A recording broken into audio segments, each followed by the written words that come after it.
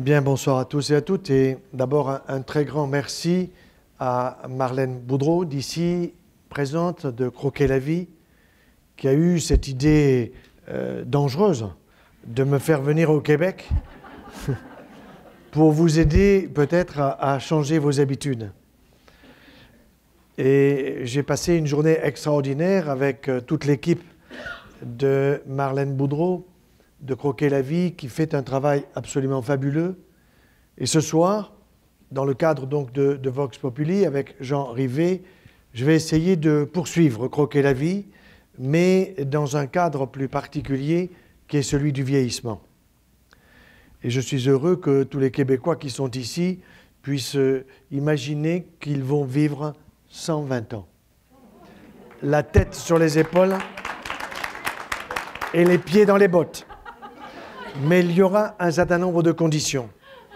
D'abord, il vous faudra écouter, et vous allez l'écouter avec passion, mon collègue ici présent, le professeur Jean-Bernard Fourtillon. Nous nous connaissons depuis plus de 40 ans, 44 ans exactement. Nous avons beaucoup travaillé ensemble il y a longtemps, mais nous nous sommes retrouvés récemment sur une découverte fantastique qu'il vous présentera tout à l'heure, qui concerne tout simplement la régulation de la veille et du sommeil, et tout particulièrement de l'hormone du sommeil. Il y a tant et tant de personnes dans le monde qui se plaignent de ne pas bien dormir, qui ont des idées en boucle et qui vont chez le pharmacien pour prendre des médicaments. Tout ça, il vous en parlera bien mieux que moi, sa conférence étant bien plus importante que la mienne.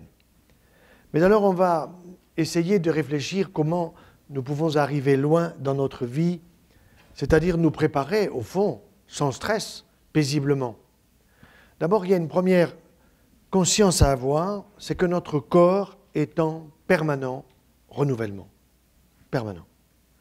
Quand je voyais récemment un de mes collègues gériatres qui disait que quand on était arrivé un peu au-delà de l'adolescence, à l'âge adulte, ben, son squelette ne bougeait plus, je me suis dit, il est peut-être professeur de gériatrie, mais il ne sait pas qu'à 100 ans, notre squelette, il aura 10 ans. Il se renouvelle en permanence. Nos cellules se renouvellent en permanence et c'est une notion à avoir qui fait que nous puissions mieux nous comprendre.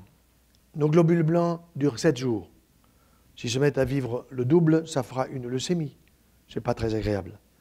Nos globules rouges, 120 jours. Et pas plus. Au bout de 120 jours, la vie est finie pour un globule rouge.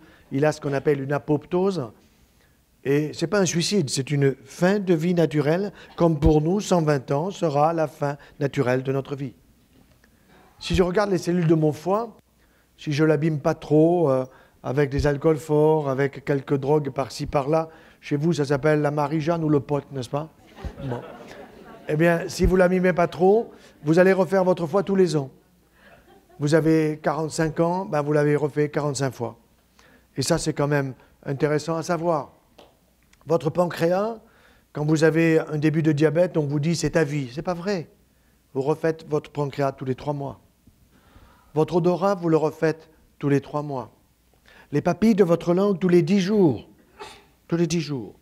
Et ça, c'est important à savoir. Pourquoi? Parce que nous allons devoir, à partir du moment où on a compris tout cela, eh stimuler tout ce système cellulaire absolument extraordinaire qui, en plus, a tout autour de lui et en permanence dans tous les organes ce qu'on appelle nos défenses immunitaires, l'immunité. En France, ça a été très difficile à faire comprendre, c'est encore assez difficile, parce que pour les Français, l'immunité, c'est celle du président de la République qui fait n'importe quoi. Donc, c'est compliqué de leur expliquer que l'immunité, c'est la protection de soi. C'est un système prodigieux. On pensait qu'il n'était même pas situé par exemple dans nos ménages, eh bien, il n'y a pas deux ans, on a trouvé un système immunitaire avec des techniques évidemment très précises qui sont présentes, ce système immunitaire, dans nos propres ménages. Alors, il est sûr que quand vous arrivez en maison de retraite en France, bah, vous avez 70, 75 ans, vos petits-enfants vous disent qu'ils vous aiment tellement qu'ils vous envoient à la maison de retraite. Et là, on vous offre un plumier. Alors un plumier, les plus anciens doivent savoir ce que c'est. C'est là où à l'école on mettait les crayons, on mettait les gommes, on mettait les plumes. Bon. Et le plumier qu'on vous offre, en réalité, c'est un plumier où il y a écrit lundi, mardi, mercredi, jeudi. Et puis il y a des horaires. Et, dans, tous ces petits casiers, il y a des pilules. Il y en a pour entendre, il y en a pour respirer, il y en a pour les hémorroïdes, il y en a pour tout. Il y en a pour tout. Et le pharmacien de la maison de retraite est content, parce que vous le faites vivre. Et les laboratoires, ils souhaitent que vous viviez le plus longtemps possible. Et si en plus, vous allez vers l'Alzheimer, alors c'est la totale.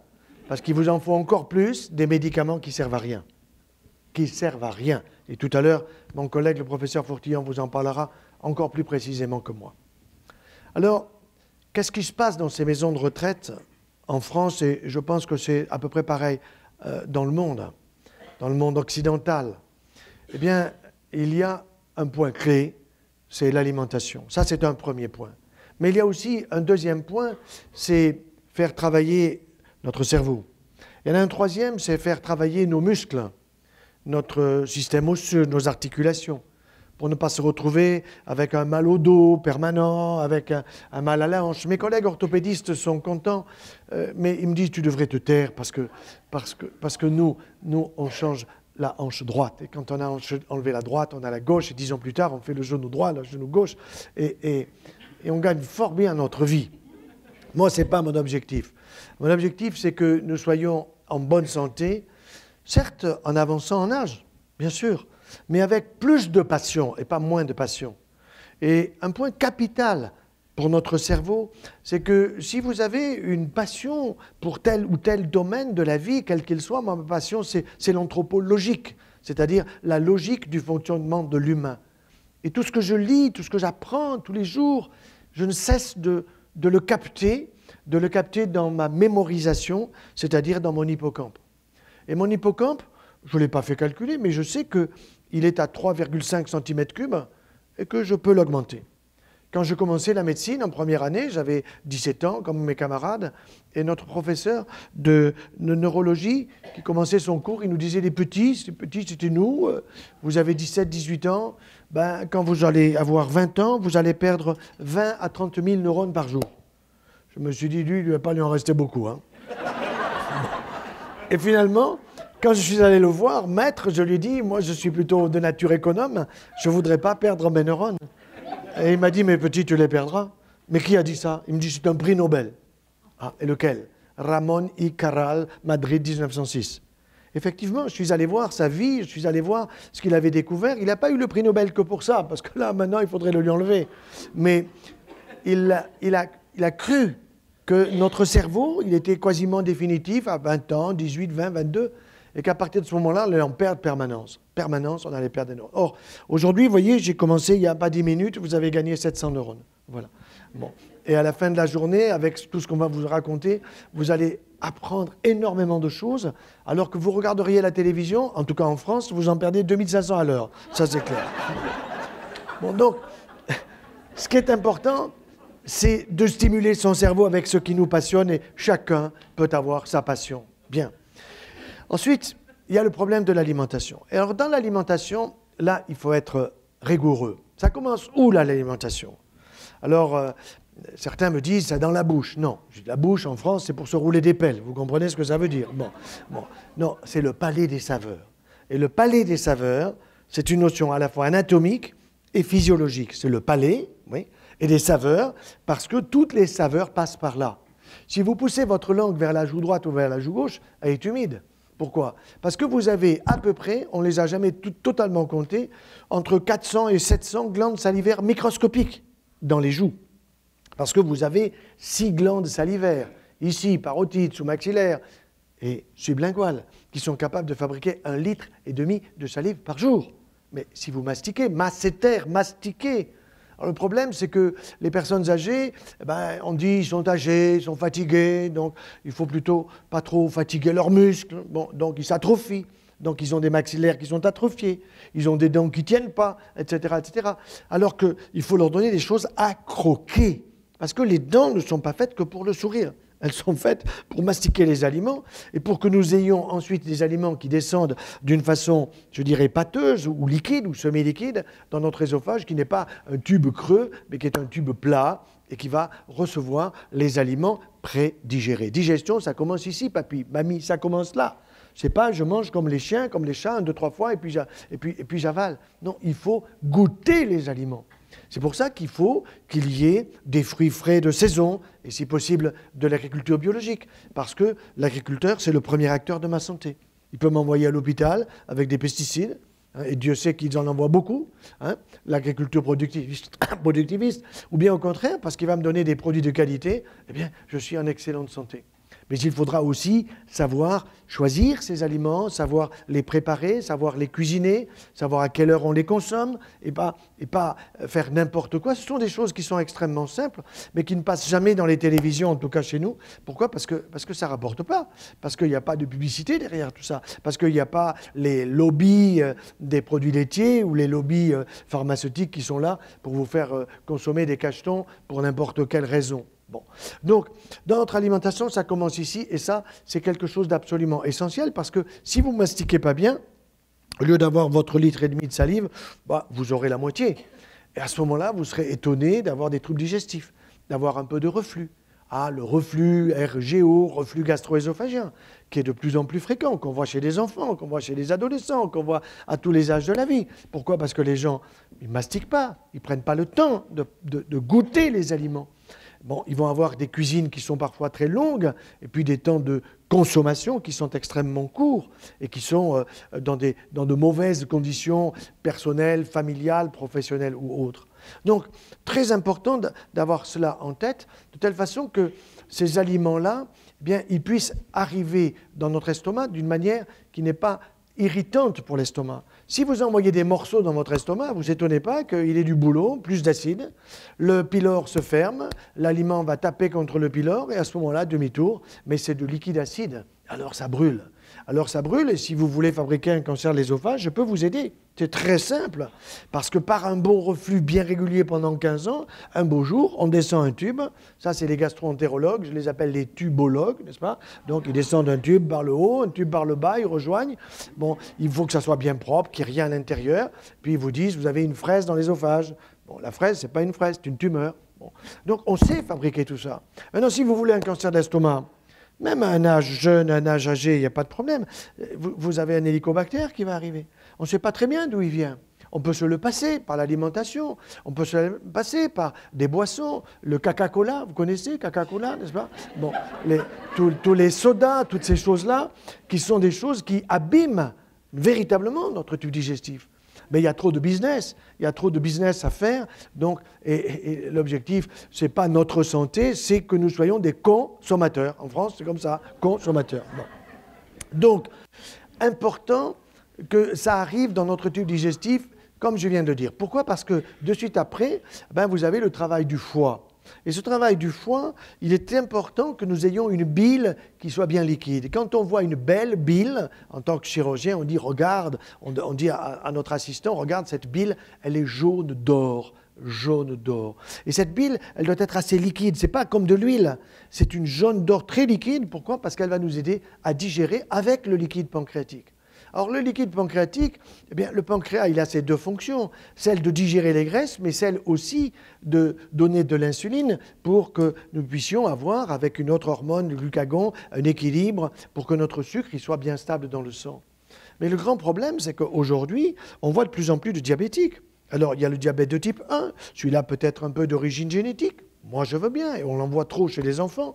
Ensuite, vous avez le diabète de type 2, c'est, disons, la bouffe. Et puis le diabète de type 3, aux États-Unis, c'est l'Alzheimer. Bon. Or, le diabète de type 3 aujourd'hui, on en voit de plus en plus. Pourquoi? Parce qu'on va gaver les gens, et en particulier les personnes âgées, mais on commence le plus tôt possible pour que nous puissions être, je dirais, dans le bon sens de ce que veut l'industrie, pas l'industrie encore pharmaceutique, mais l'industrie agroalimentaire. Donc, il faut que nous ayons des produits que nous n'ayons pas à mastiquer, des produits liquides des produits liquides ou des produits... Euh, bon, donc ce sont essentiellement les produits lactés. Or, on oublie que le lait, par exemple, quel qu'il soit, le lait, je parle du lait d'origine animale, il a un pouvoir sucrant qui est très faible. C'est un seizième du pouvoir sucrant du sucre Saint-Louis ou du sucre raffiné, très faible. Donc, à du lait, on ajoute du sucre. Or, le lait, c'est quoi? C'est du lactose. Donc, lactose plus le sucre qu'on ajoute, bah, ça va vous faire tout simplement ben, une quantité plus importante de sucre. Or, je vous fais remarquer que chez nous, les mammifères, et particulièrement les humains, si vous prenez 2 grammes de sucre, ça vous fait 1 gramme égale 4, calories, 2 grammes 8 calories. Vous ajoutez une toute petite calorie qui traîne par là, ça fait 9. 1, ben, gramme, gramme de gras, c'est 9 calories. Donc nous sommes capables de transformer les 2 grammes de sucre, pratiquement, en 1 gramme de gras. Et ce gras, il est d'abord dans le foie. On le connaît bien avec le foie gras. Eh bien, la pathologie aujourd'hui la plus fréquente dans notre société occidentale, c'est ce qu'on appelle en termes scientifiques l'hépatopathie stéatosique. Ça veut dire quoi? Ben, Madame, vous avez le foie gras. Ah ben madame, je ne suis pas une oie. Oui d'accord, mais avec votre mari, vous faites comme lui, whisky, biscuit. Alcool, 1 gramme, 7 calories, 1 gramme d'alcool, 1 gramme de sucre, 4 calories. C'était 4, ça fait 11, vous avez, vous avez les 9 pour faire... Bon, donc ce stockage se fait dans le foie. Il se fait aussi dans les muscles. Et c'est pour cette raison que quand nous stockons tout cela dans notre système hépatique et puis dans notre système, je dirais, musculaire, qu'est-ce qui se passe? Fatigue. Alors fatigue, fatigue générale, et les, personnes âgées, vous les retrouvez, ils vont aller chez le cardiologue parce qu'ils sont hypertendus, parce que le stress les rend hypertendus, et le, cardiologue va lui proposer quoi? Il va pas proposer de changer des habitudes alimentaires, il va proposer tout simplement un hypotenseur. Alors, vous avez 14 avec 15 de tension, ce qui est une bonne tension pour une personne de 70 ou de, de 75 ans. Maintenant, on va le baisser à 12 alors cette personne, elle est encore plus fatiguée parce qu'elle n'a pas une bonne vascularisation cérébrale et que notre tension, si à 60 ans j'ai 12, à 70 j'ai 13, à 80 j'ai encore un point de plus, on augmente chaque fois et c'est normal. Or, vous trouvez des personnes âgées qui sont en permanence fatiguées et qui sont tout simplement sous traitement hypotensaire, qui sont abusifs, qui sont excessifs. Et ce qu'on oublie de, dire à, tout le monde, je le disais l'autre jour à, la séance de Croquer la vie, c'est que nous n'avons pas simplement qu'un cœur dans notre thorax, nous en avons deux de plus. Ah bon? Et où sont les deux autres cœurs? Sous les pieds. Nous avons ce qu'on appelle le cœur plantaire de Léjard, c'est lui qui l'a, trouvé, qui l'a décrit. C'est une semelle veineuse qui est assez épaisse au niveau de la plante du pied et qui fait que lorsque nous marchons, nous ne devons pas traîner les pieds nous devons véritablement appuyer sur la plante du pied pour faire remonter le sang veineux, parce qu'il n'y a pas de, pompe pour le faire remonter, mais la pompe, c'est de marcher en appuyant. Et c'est pour ça que je raconte que quand je vais dans les maisons de retraite, à la sortie, ils sortent tous comme des soldats tchécoslovaques. Voilà. Comme ça, ils ont compris, et le sang revient bien vers le cœur, et on n'a pas besoin de donner un traitement soit tonicardiaque, soit régulateur du cœur, etc. Donc là, il y a des abus considérables, de la même façon qu'avec le problème, il faut en parler, du cholestérol. Dans les maisons de retraite, il doit y avoir un œuf à la coque tous les jours pour toutes les personnes présentes. Pourquoi?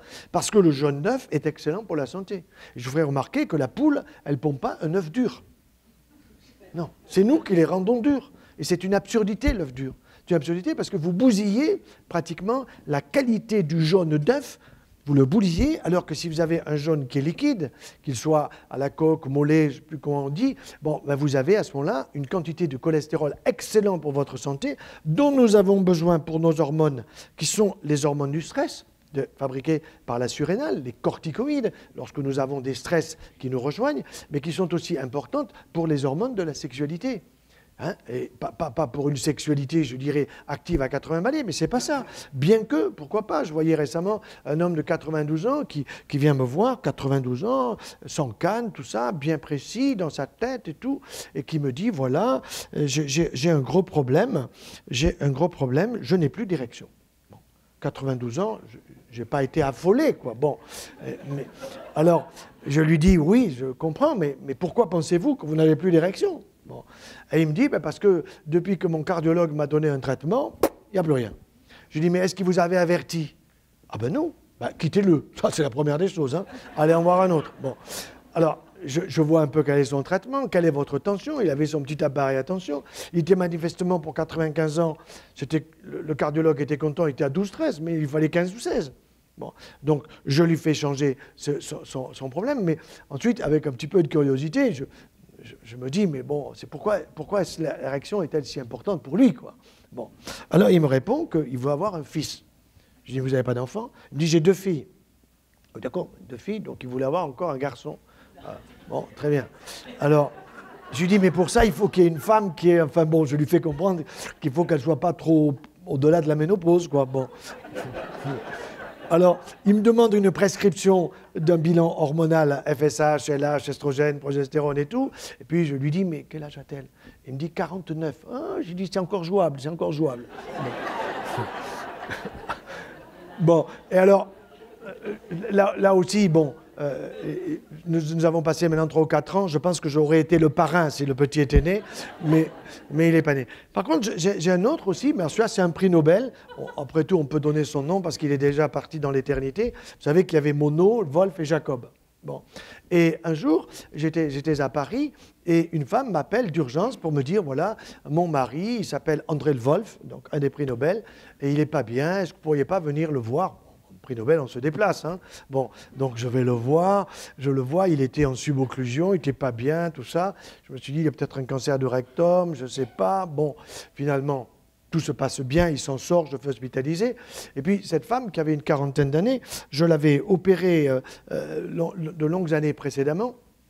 Et je lui dis, mais comment avez-vous fait pour vous marier avec un prix Nobel? Extraordinaire. Bon, alors elle me dit, ben, j'étais la femme de compagnie de son épouse, bon, et puis elle est partie, donc ben, je l'ai un peu remplacée.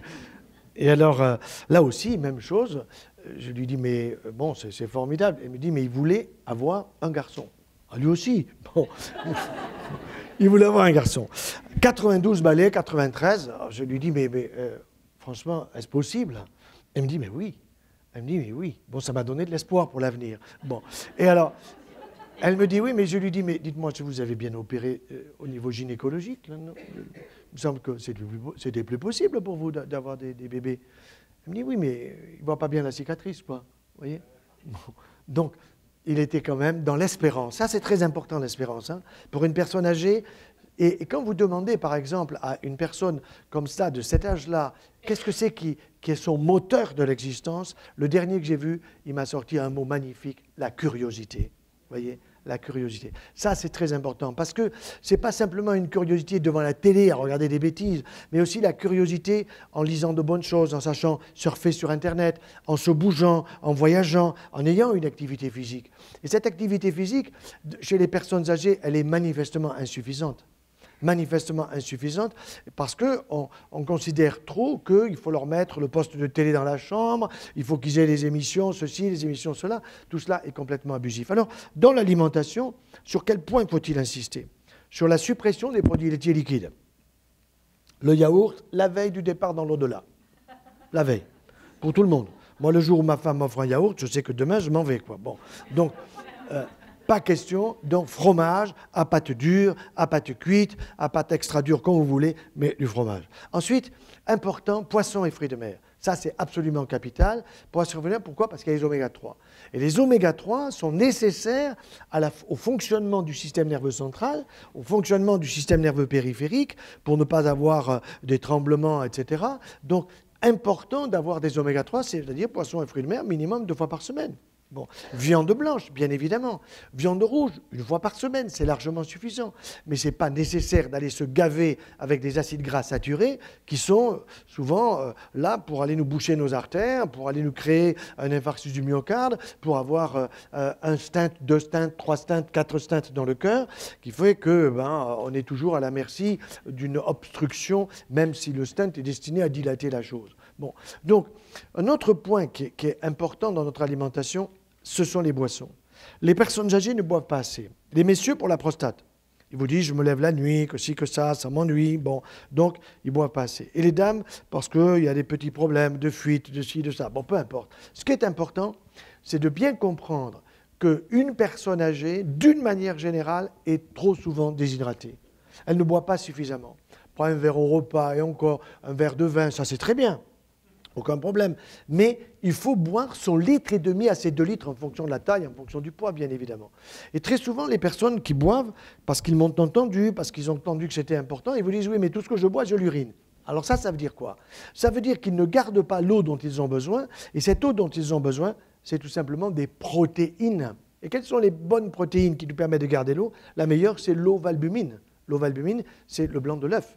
Le blanc de l'œuf à peine pris, qui est absolument indispensable pour que si vous buvez, votre litre et demi, eh bien vous avez peut-être 500 qui a besoin de rester dans votre corps. C'est pas je bois et j'urine tout ce que je bois. Et ce qui est très important aussi, c'est de considérer que les urines doivent être claires et non pas trop odorantes. Ça aussi, c'est un point capital. Et chez les personnes âgées, ils vous le disent. Ils ont, ils ont, parfois des problèmes urinaires, de cystite, de prostatite, de tout ce que voudra, parce qu'il n'y a pas assez d'hydratation. Et parce que aussi, il y a un état au niveau du tube digestif où le microbiote intestinal ne va pas bien. Alors qu'est-ce qui se passe? Eh bien, il se passe tout simplement que ce microbiote, c'est la consommation en particulier des prébiotiques, probiotiques. Prébiotiques, c'est quoi? Ce sont les fibres des fruits, ce sont les fibres des légumes, des légumineuses, etc. Mais si vous faites trop cuire, la femme qui me dit, docteur, moi je fais une pomme au four à mon mari, il aime ça, je fais ça avec beaucoup d'amour. Je dis, madame, vous serez veuve avant tout le monde.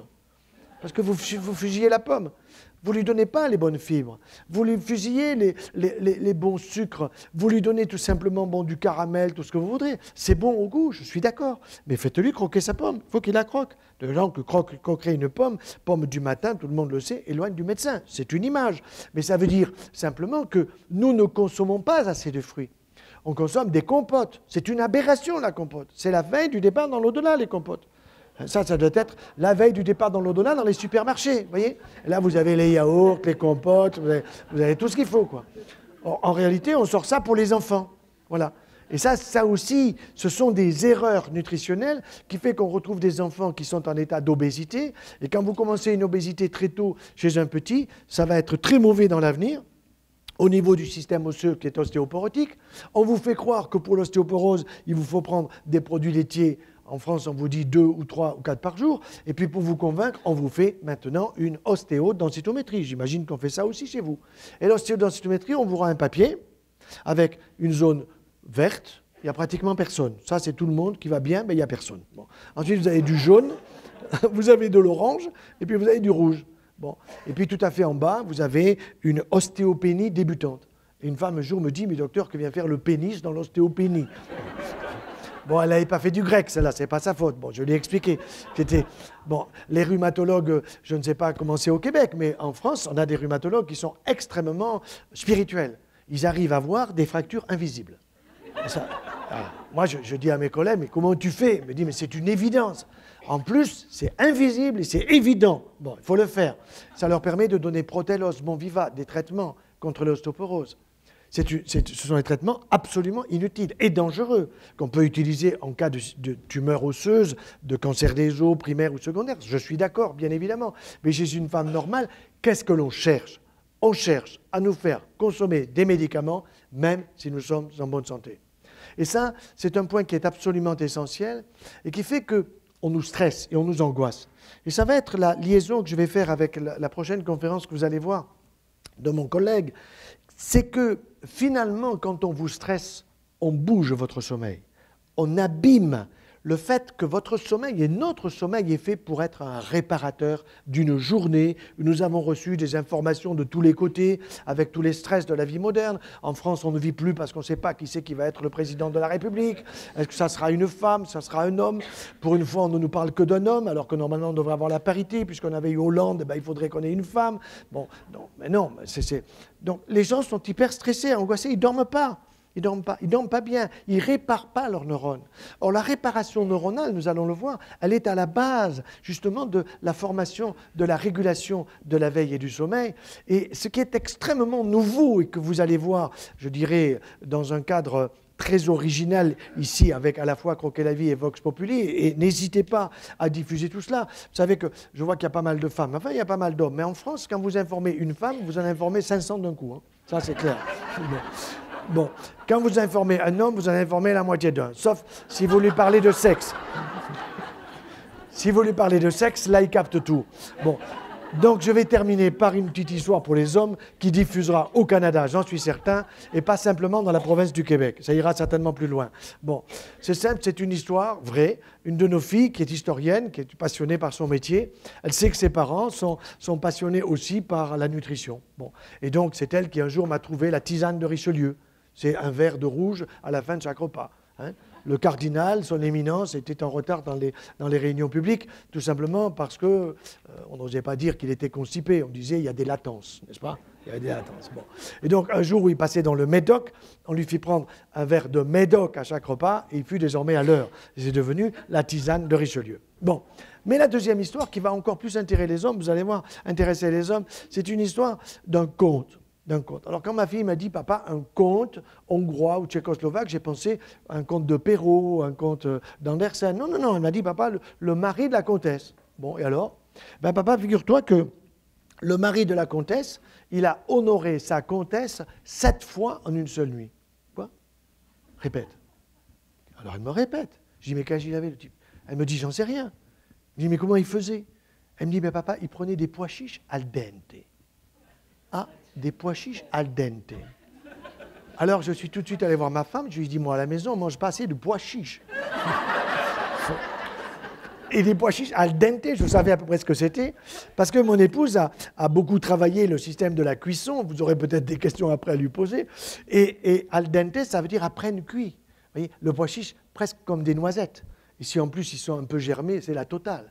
Et quand vous avez une poignée de pois chiches dans votre palais des saveurs, que vous fermez les yeux, que vous mastiquez cette poignée de pois chiches avec tous les goûts fabuleux qui sont en train de venir. Il faut que la comtesse fasse pareil, n'est-ce pas hein, Il ne faut pas que ce soit que le comte. Hein, c'est pour chacun. Eh bien, les phytohormones qui sont présents dans le pois chiche, parce qu'ils sont présents quand ce sont des, des nutriments vivants, ces phytohormones chez l'homme vont aller, entre guillemets, chatouiller la zone testiculaire. Vous me suivez testostérone, hein, et tandis que chez la femme, ils vont chatouiller le, côté ovarien, c'est-à-dire estrogène et progestérone. Et ça, c'est un, avenir fantastique parce que c'est vraiment l'amour à partir des pois chiches. Et donc, je vous promets qu'au Québec, dans huit jours, il n'y aura plus un pois chiche à vendre. voilà, alors je vais maintenant passer la parole à mon collègue le, professeur Fortillon, qui va vous passionner certainement. Il faudra être très attentif parce qu'il va vous apporter la preuve de sa découverte. Il vous dira également pourquoi on a tardé à la faire connaître, cette découverte extraordinaire de la valentonine, valentonine qui est l'hormone du sommeil. Je vous remercie. Mes chers amis du Québec, mais écoutez, c'était une heureuse coïncidence. Je me trouve je suis venu avec mon épouse euh, rendre visite à mes enfants. C'est la deuxième fois que je viens à Montréal.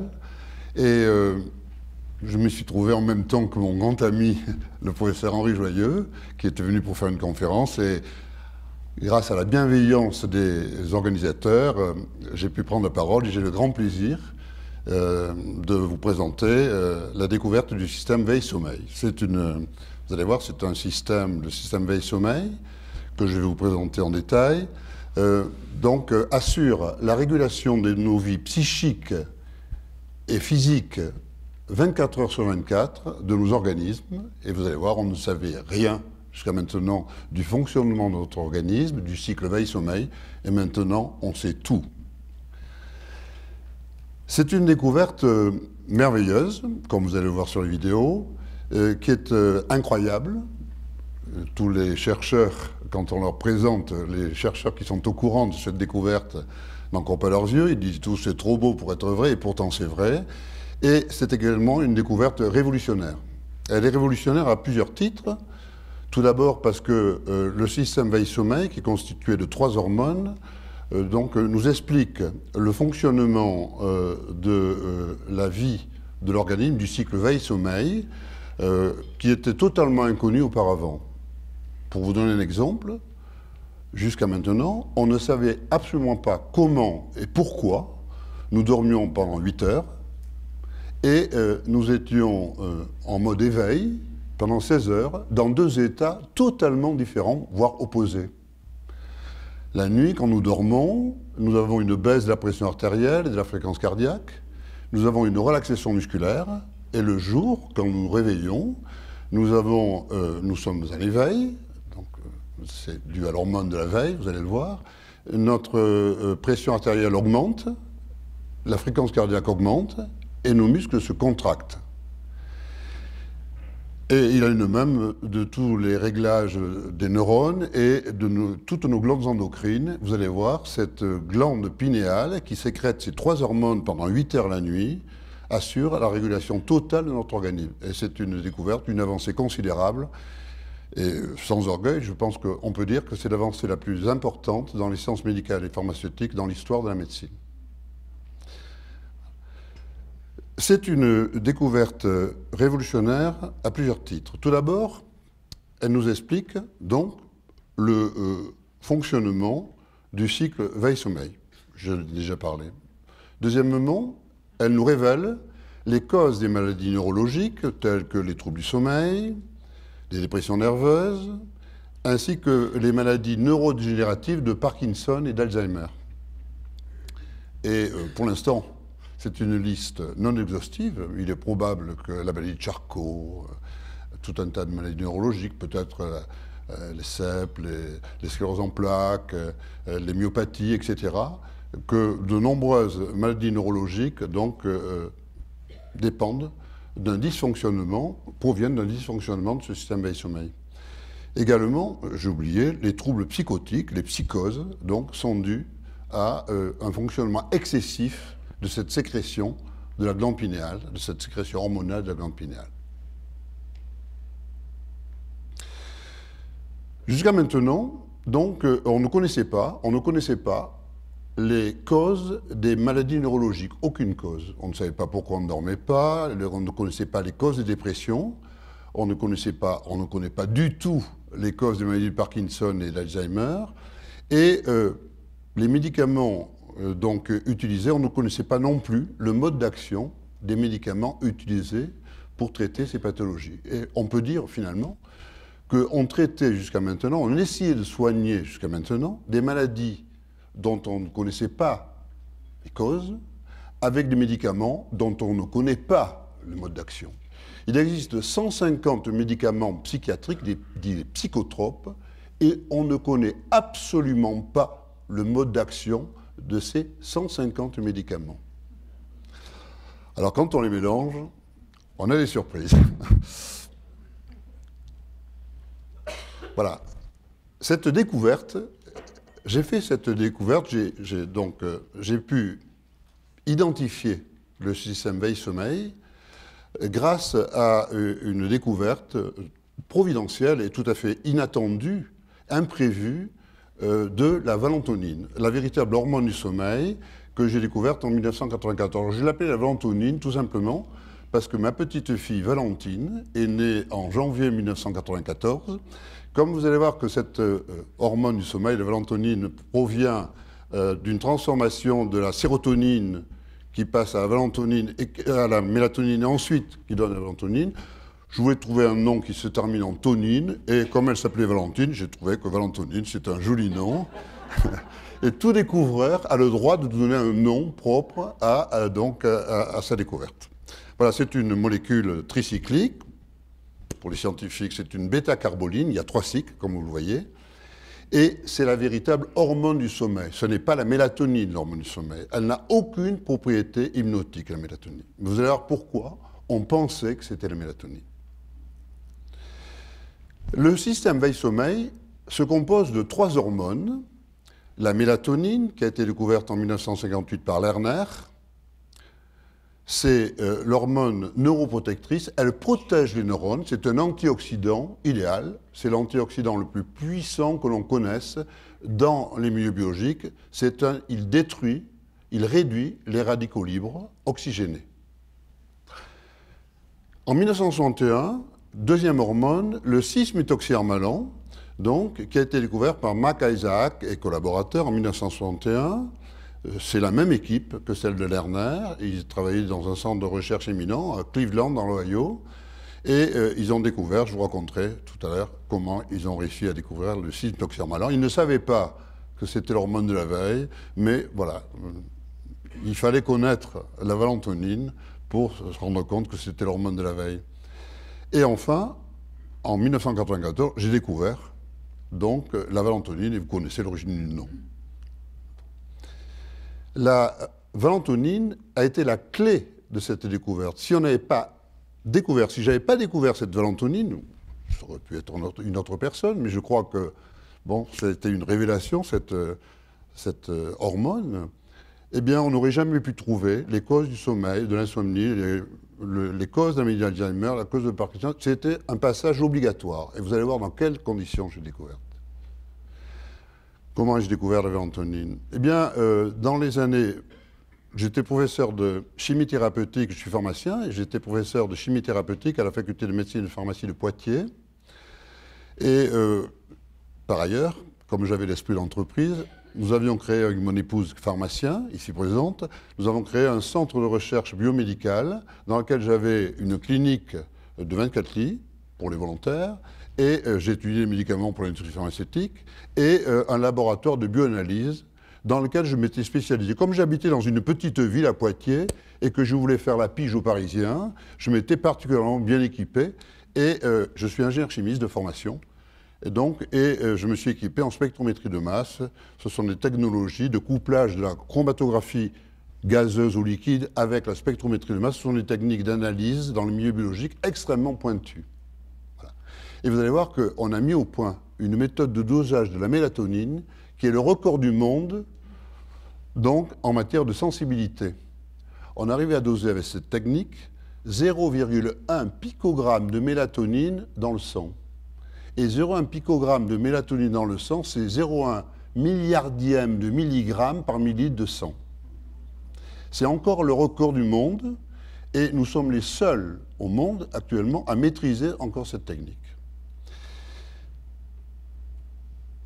C'était au début des années 90 et comme je travaillais pour l'industrie pharmaceutique, tout le monde s'intéressait à la mélatonine, seulement on ne pouvait pas la doser. Alors je me suis dit, je vais essayer de me développer une technique de dosage, comme ça j'aurai des études et je ne pensais pas du tout à découvrir l'hormone du sommeil, etc.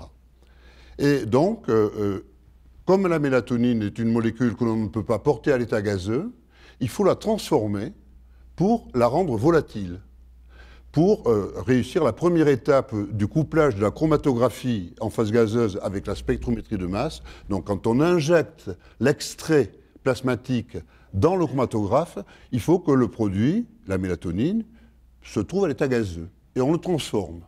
On le transforme et on avait fait une fluoroacétylation. Et vous voyez qu'on avait obtenu cette molécule tricyclique qui ressemble à la valentonine. D'ailleurs, vous allez comprendre pourquoi. Avec trois cycles, c'est une bêta-carboline. Et il y avait un groupe perfluoroacétylé, C2F5CO, que vous voyez à droite. Et je savais, en même temps, donc, que la mélatonine provenait de la sérotonine par deux réactions, mais en particulier par une réaction d'acétylation de la sérotonine qui se faisait ici, ici sur le groupe acétyl. Vous voyez, euh, on part de la sérotonine et on, branche un groupe CHCO à droite, donc, euh, et on obtient la mélatonine, qui est la N-acétylsérotonine au départ.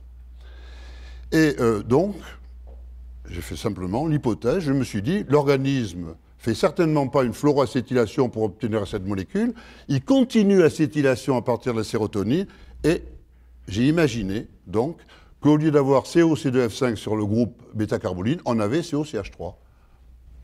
Et j'ai trouvé, c'est en quelques secondes, je suis revenu à la maison comme un fou, j'ai dit à ma femme, je viens de découvrir l'hormone du sommeil. Voilà, le lendemain, je suis allé voir des amis chimistes, nous avons synthétisé la molécule, et une semaine après, je suis allé voir des amis pharmacologues qui étaient des vétérinaires, qui avaient des laboratoires d'expérimentation, et on a mis en évidence chez l'animal donc les propriétés hypnotiques de l'antonine, les animaux roupillés, de façon extraordinaire, avec du sommeil physiologique, et vous allez voir un petit peu les qualités de ce produit. Vous voyez que je ne cherchais pas du tout, j'étais pas du tout un chercheur, et euh, je vais vous faire une confidence, mais de toute façon, j'enseignais, moi, les médicaments. Aucune découverte de médicaments, d'ailleurs, c'est pas forcément une découverte heureuse, puisque la plupart des médicaments ne sont pas très intéressants. Euh, mais euh, la plupart, aucune découverte de médicaments n'a été faite par des chercheurs. Parce que les chercheurs sont tellement spécialisés, spécialisés dans leur coin, qu'ils sont englués dans leurs petits problèmes et ils découvrent des choses, mais ils ne découvrent pas les choses. Là, il faut une ouverture, c'est-à-dire qu'il faut, quand on a ça, penser que ça peut être l'hormone du sommeil, euh, il faut avoir une ouverture d'esprit, et puis il faut avoir, parce que là j'avais découvert la valentonine, c'était la clé de la découverte du sommeil-sommeil. On avait découvert finalement des produits hypnotiques. Cette molécule que j'ai trouvée, malheureusement, on ne pouvait pas l'utiliser par voie orale parce qu'elle est détruite, comme la plupart des hormones, en milieu gastrique, dans l'estomac. Donc il fallait l'administrer par voie injectable. On avait démontré qu'il était hypnotique par voie injectable. Et évidemment, euh, je me suis dit tout de suite que si on devait injecter pendant 8 heures la nuit la valentonine en perfusion, ce n'était pas le médicament idéal pour faire dormir les gens. Et euh, donc, euh, je me suis dit tout de suite, je me suis lancé, j'ai pris un brevet de protection, je ne l'ai pas publié du tout, parce que si vous découvrez ça et que vous, l'annoncez à la télévision, vous le mettez dans un journal, c'est terminé, c'est dans le domaine public, vous ne pouvez plus le protéger. Les laboratoires ne le font pas, bien sûr. Et euh, comme j'étais chimiste, j'ai commencé à bricoler la molécule, et évidemment, je l'ai rendue. Je savais comment la rendre stable en milieu. J'ai fait, entre 1994 et 2007, j'ai fabriqué 579 produits succédanés de la valentonine, qui étaient tous hypnotiques, que j'ai appelés les valentonergiques, tous actifs par voie qui marchaient très bien.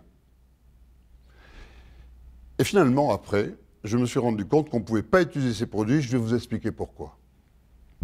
Et après, je me suis rendu compte que, et vous allez voir comment j'ai trouvé, j'ai réussi à résoudre le problème.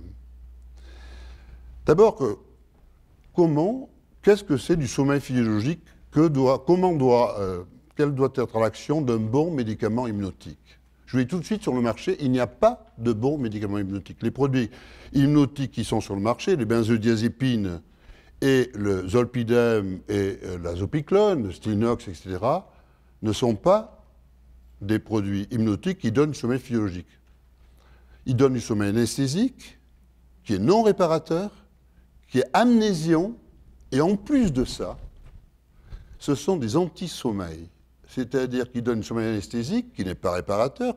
Quand vous êtes anesthésié, vous êtes très fatigué, il faut plusieurs jours pour s'en remettre. Alors évidemment, les gens confondent le sommeil et perte de conscience, ça n'a rien à voir. Si on devait vous anesthésier pour faire dormir toute votre vie, vous ne dureriez pas longtemps. Hein.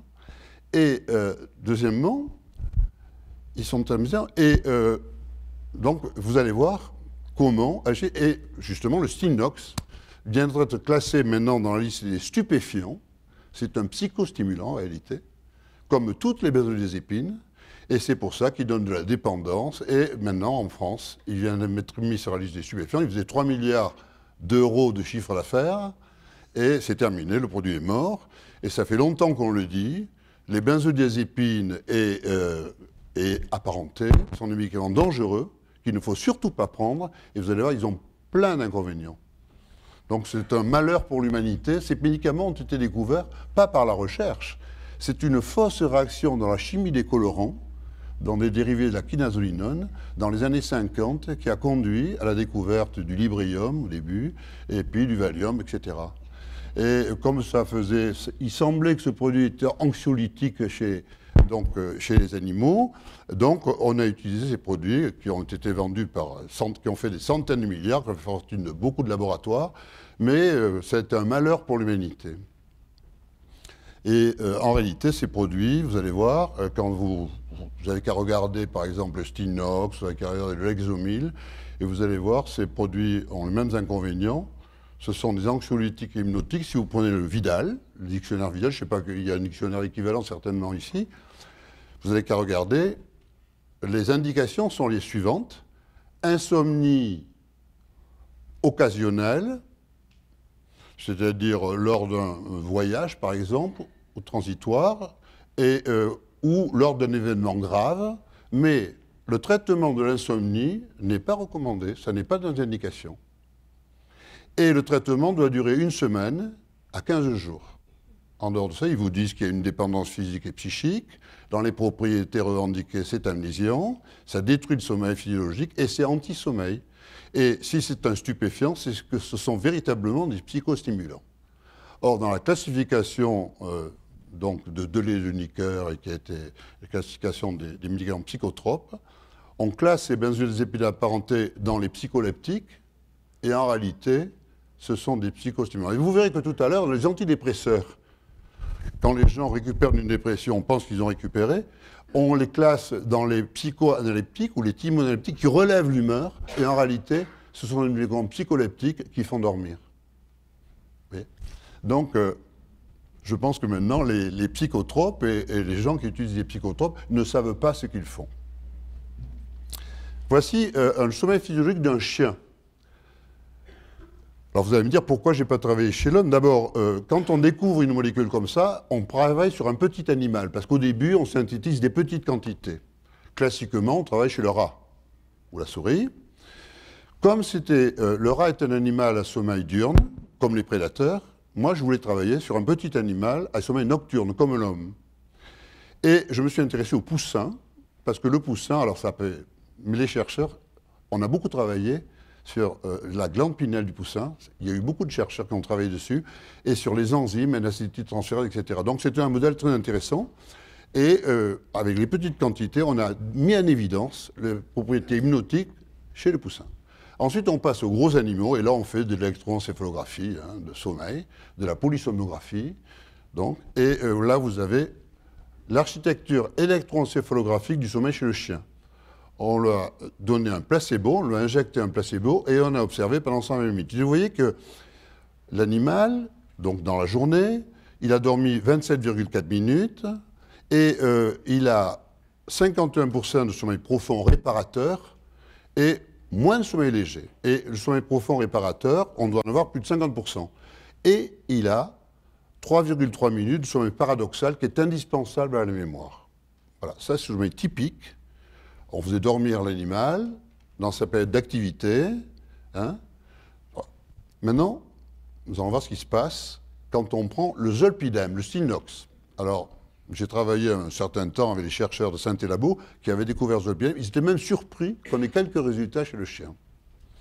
Et, euh, vous voyez, 120 minutes, le sommeil sous stilnox, qui était du sommeil anesthésique, durait beaucoup moins longtemps. Alors, ils perdaient conscience, ces animaux, mais ça ne durait que 18 minutes, alors que tout à l'heure, on a vu 27 minutes. Et vous voyez que le sommeil profond, donc, est minoritaire, il est inférieur au sommeil léger non réparateur, il est faible, il est inférieur à 50%, et il y a un effondrement du sommeil paradoxal qui est en corrélation avec l'amnésie. Et c'est le sommeil paradoxal, pendant le sommeil, c'est comme quand vous sauvegardez une information sur votre ordinateur, si vous oubliez de sauvegarder, vous la perdez. Et là, c'est pareil. La nuit, si vous avez un sommeil, vous n'avez pas de sommeil paradoxal, vous ne gardez pas en mémoire. Et c'est le problème de l'amnésie antérograde des événements récents. Il y a perte de mémoire des événements récents. Et les gens, souvent, vous disent que quand ils ont pris euh, Sinox, ils ne se souviennent plus de ce qu'ils ont fait dans les heures qui précédaient, etc. La prise du produit. Maintenant, on va voir le Valium, le diazépam. Alors le diazépam, il y a un sommeil plus important, 31,5 minutes, mais toujours pareil, le sommeil léger est beaucoup plus important, le sommeil profond, c'est le sommeil anesthésique et effondrement toujours du sommeil paradoxal. Et maintenant, vous allez voir un sommeil tout à fait différent, le sommeil physiologique sous valentonine, et là, c'est quand même spectaculaire, on a 57,8, les animaux dorment deux tiers du temps d'observation, donc on a travaillé, il a suffi de 90 minutes pour avoir 57,8 minutes donc, de sommeil. Et le sommeil profond est majoritaire, et il y a du sommeil paradoxal pendant 4 minutes, ce qui est important. Il y a plusieurs phases dans le sommeil. Hein. Donc le sommeil paradoxal augmente, donc euh, dans les, il y a 5 ou 6 cycles. Voilà. Alors je vous ai présenté, j'ai pris un peu de temps pour vous montrer ce que c'était que le sommeil anesthésique, et je vais vous présenter maintenant une vidéo.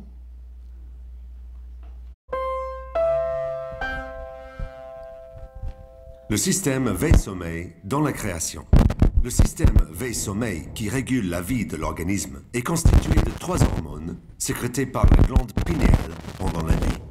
La mélatonine, MLT, a été la première hormone identifiée dans la glande pinéale par Lerner en 1958. Elle n'est pas l'hormone du sommeil. C'est l'hormone neuroprotectrice. Elle protège les neurones de l'action destructrice des radicaux libres. Le 6-méthoxyarmalon, 6-MH, est la deuxième hormone identifiée dans la glande pinéale par McIsaac en 1961. Le 6-méthoxyarmalon a des propriétés psychostimulantes extrêmement élevées, comparables au LSD. C'est l'hormone de la veille et de la conscience, et plus généralement l'hormone du jour. La valentonine, VLT, est la troisième hormone identifiée dans la glande pinéale par Jean-Bernard Fortillon en 1994. La valentonine est la véritable hormone du sommeil. C'est l'hormone de la nuit. Son identification a été la clé de la découverte du système veille-sommeil. La glande pinéale, ou épiphyse, est une petite glande endocrine d'environ 8 mm. Elle secrète simultanément ces trois hormones. Cette sécrétion est déclenchée par le noyau suprachiasmatique, situé au-dessus du chiasme optique, sur la projection rétino-hypothalamique du nerf optique. Comment cela se passe-t-il? Les cellules de la rétine perçoivent la luminosité ambiante. Cette information est traitée par le noyau suprachiasmatique. Lorsque la nuit tombe, il déclenche la sécrétion par l'épiphyse de ces trois hormones pendant 8 heures, ce qui correspond à la durée de la nuit la plus courte de l'année, entre 22 heures et 6 heures du matin, au solstice d'été. En véritable horloge biologique, le noyau suprachiasmatique rythme la vie de l'organisme par tranche de 24 heures, en l'adaptant à son mode de vie et à son environnement. C'est ainsi que pour une personne qui a l'habitude de se coucher à 22 heures, le noyau suprachiasmatique va déclencher par voie nerveuse la sécrétion des trois hormones par la glande pinéale à partir de 22 heures. Car la biosynthèse des hormones ne se produit qu'à l'abri de la lumière. Mais dans tous les cas, la sécrétion des trois hormones par la glande pinéale durera 8 heures. Pour notre exemple, la sécrétion des trois hormones pinéales s'arrêtera à 6 heures du matin, et ceci quelle que soit la période de l'année ou la durée de la nuit. Dans la glande pinéale, les biosynthèses consécutives des trois hormones s'effectuent à partir de la sérotonine, en trois étapes de cétylation successives, sous l'action d'une même enzyme, la N-acétyltransférase, NAT. La mélatonine étant une étape intermédiaire dans cette cascade biochimique, la mesure de sa concentration dans le plasma sanguin à partir de 1 heure du matin sert de marqueur de la sécrétion des trois hormones pinéales et donc de l'état du système veille-sommeil. Au fur et à mesure de leur biosynthèse dans la glande pinéale, les trois hormones sont libérées dans le sang. Elles vont se distribuer dans l'organisme et gagner leur lieu d'action. Voici les évolutions des concentrations plasmatiques des trois hormones pendant 24 heures. En ce qui concerne la valentonine et le 6-méthoxyarmalon, on peut distinguer deux périodes différentes. Une période qui va de 22h à 6h du matin, au cours de laquelle les concentrations de la VLT dans l'organisme sont supérieures à celles du 6MH. Au cours de cette période, l'organisme est en mode sommeil. Une période d'activité qui va de 6h du matin à 22h, au cours de laquelle la prévalence de 6MH fait passer l'organisme en mode éveil. Les cinétiques de distribution de l'élimination de ces deux hormones dans l'organisme sont à la base de l'alternance des modes éveil et sommeil. Nous allons mettre en parallèle pendant 24 heures les évolutions des concentrations de la valentonine et du 6-méthoxyarmalon avec le comportement de ce personnage qui se couche tous les soirs à 22 heures. Pendant 8 heures, entre 22 heures et 6 heures du matin, durant la période de repos, le sommeil physiologique répare et restaure son organisme. À partir de 6 heures, régénéré par une nuit de sommeil, notre personnage entre dans une phase d'activité, travail et loisir. Puis, fatigué par une journée d'activité, notre personnage gagne son lit en quête d'un repos bien mérité. On remarquera qu'à 22 heures, le tonus de notre personnage n'est plus soutenu par l'hormone du jour, le 6MH a complètement disparu de l'organisme.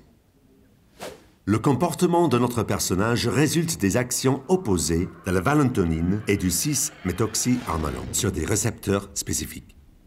Les récepteurs 5-HT2C de la sérotonine, les récepteurs alpha-2 de la noradrénaline, les récepteurs D1 et D2 de la dopamine. Ainsi, entre 22h et 6h du matin, pendant cette période de prévalence dans l'organisme, la valentonine diminue la vigilance par activation des récepteurs 5-HT2C sérotoninergiques, ce qui a pour effet de maintenir l'état de sommeil chez notre personnage.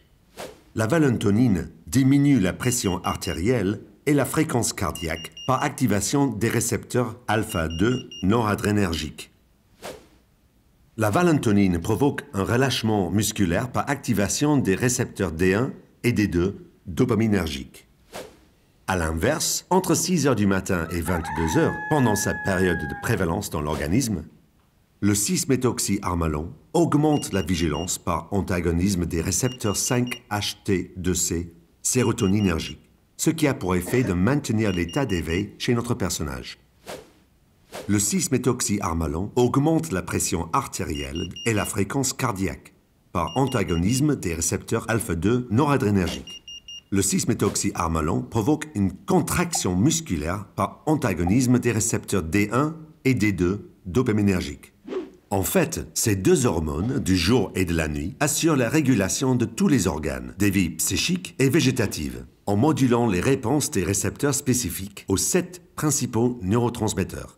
La sérotonine, la noradrénaline, la dopamine, l'adrénaline, l'histamine, le GABA et l'acétycholine, et en modulant les sécrétions des sept glandes endocrines de l'organisme. L'hypophyse, la glande thyroïde, le thymus, les glandes sérénales, le pancréas, les ovaires et les testicules.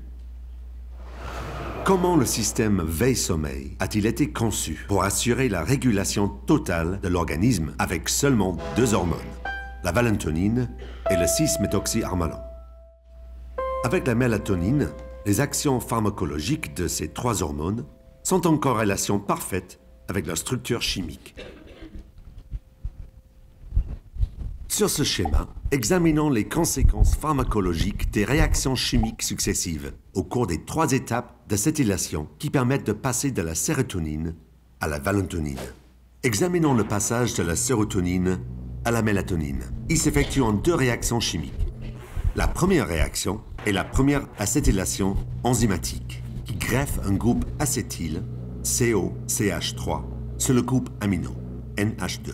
Elle préserve le groupe amino d'une oxydation par les enzymes monoamine oxydase, MAO, qui détruisent très rapidement les chaînes éthylamine de la sérotonine, de la noradrénaline et de la dopamine.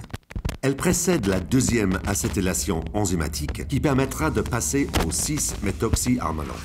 La deuxième réaction chimique est une méthylation du groupe hydroxyle, HO en position 5 sur la molécule de N-acétylsérotonine. Elle conduit à la mélatonine, dans laquelle le groupe hydroxyle, hydrophile, est remplacé par un groupe méthoxy H3CO, lipophile. Ce groupe permet aux molécules de mélatonine, de 6-méthoxyarmalon et de valentonine, devenues solubles dans les lipides, d'acquérir le statut d'hormone.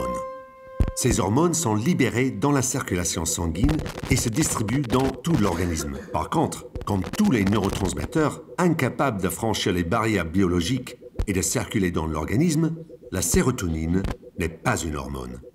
Elle reste dans la glande pinéale où elle joue son rôle de précurseur des trois hormones pendant la période de sommeil nocturne, tandis que la mélatonine est sécrétée dans les vaisseaux sanguins au fur et à mesure de sa biosynthèse.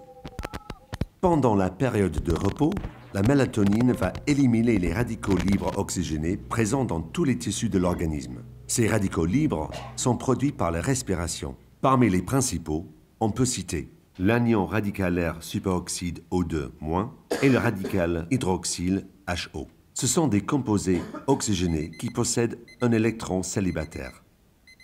Ils sont extrêmement réactifs et entraînent une destruction progressive des cellules de l'organisme en particulier des neurones. Grâce à ces puissantes propriétés réductrices portées par l'atome de carbone situé en position 2, la mélatonine va piéger ces radicaux libres en se transformant en 2-oxomélatonine, ultérieurement éliminée par voie sanguine. La distribution de la mélatonine dans le tissu cérébral, à partir de 22 heures, va piéger les radicaux libres oxygénés accumulés pendant la période d'activité. Simultanément à leur réduction, la mélatonine est oxydée en 2-oxomélatonine, qui est ensuite éliminée par voie sanguine. Ainsi, à 6 heures du matin, à la fin de la sécrétion pinéale, les tissus nerveux sont épurés. Examinons la deuxième étape d'acétylation, le passage de la mélatonine au 6-méthoxyarmalon. Cette deuxième acétylation provoque une cyclisation de la chaîne latérale de la mélatonine, qui conduit au 6-méthoxyarmalon, dérivé à squelette tricyclique appelé bêta-carboline.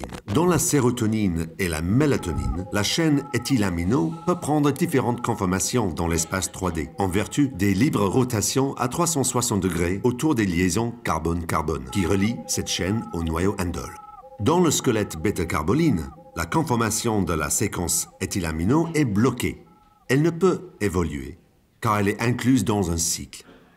Les différents récepteurs sérotoninergiques, noradrénergiques et dopaminergiques ne peuvent être activés que par des conformations spécifiques à leur neurotransmetteur.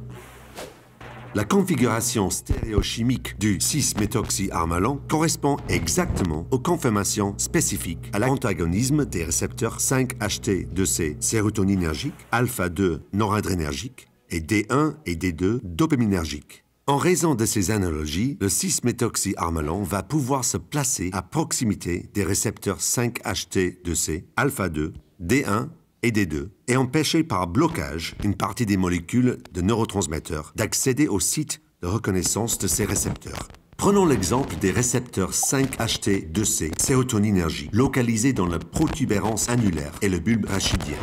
La configuration stéréochimique du 6-méthoxyarmalon, analogue à celle de la sérotonine, va empêcher une partie des molécules de sérotonine d'accéder spécifiquement à ces récepteurs. Il en résulte une diminution de la transduction dans ces neurones neuroinhibiteurs, avec augmentation de la vigilance, ce qui maintient l'éveil pendant la période d'activité, entre 6 heures du matin et 22 heures dans notre exemple. Examinons la troisième étape d'acétylation le passage du 6-méthoxyarmalon à la valentonine. Au cours de cette troisième étape d'acétylation, le branchement d'un groupe acétyl sur l'atome d'azote N de la molécule du 6-méthoxyarmalon provoque une inversion des propriétés pharmacologiques et transforme le 6-méthoxyarmalon, l'hormone de l'éveil et du jour, en valentonine, l'hormone du sommeil et de la nuit. La conformation de la valentonine, identique à celle du 6-méthoxyarmalon, lui permet également d'accéder spécifiquement aux trois types de récepteurs.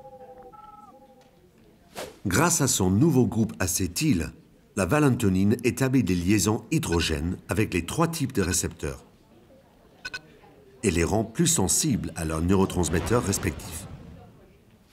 Par exemple, la valentonine va accroître la stimulation des récepteurs 5-HT2C et maintenir l'état de sommeil en diminuant la vigilance pendant la nuit. Comble de merveilleuses concordances, les propriétés pharmacocinétiques du 6-méthoxyarmalon et de la valentonine, produites en même temps dans la glande pinéale, sont parfaitement adaptées aux prévalences des deux hormones et à leur alternance à 6 heures du matin et à 22 heures, non seulement dans le sang, mais aussi à leur lieu d'action. Que de merveilleuses concordances pour réussir à mettre, alternativement, notre organisme en mode sommeil et en mode éveil, avec seulement deux hormones. La valentonine et le 6-méthoxyarmalon modulent de façon spécifique les récepteurs 5-HT2C sérotoninergique, alpha-2 noradrénergique, D1 et D2 dopaminergique. Donc, euh, ce que je voulais vous montrer d'abord, parce que j'ai arrêté en cours, c'est que nous avons étudié chez 12 sujets sains jeunes et chez 12 personnes âgées, donc les courbes de sécrétion de la mélatonine par la glande pinéale pendant 8 heures. On ne savait pas que ça durait 8 heures, mais on s'en est aperçu. Vous allez voir comment. Donc euh, voici les résultats. Voici les courbes chez les sujets jeunes. C'est une échelle logarithmique, mais on s'aperçoit qu'on a une augmentation chez 12 sujets euh, des concentrations, on a un plateau, et ensuite, après 8 heures de sécrétion, à 6 heures du matin par exemple, ça décroît et la sécrétion s'arrête. Voilà.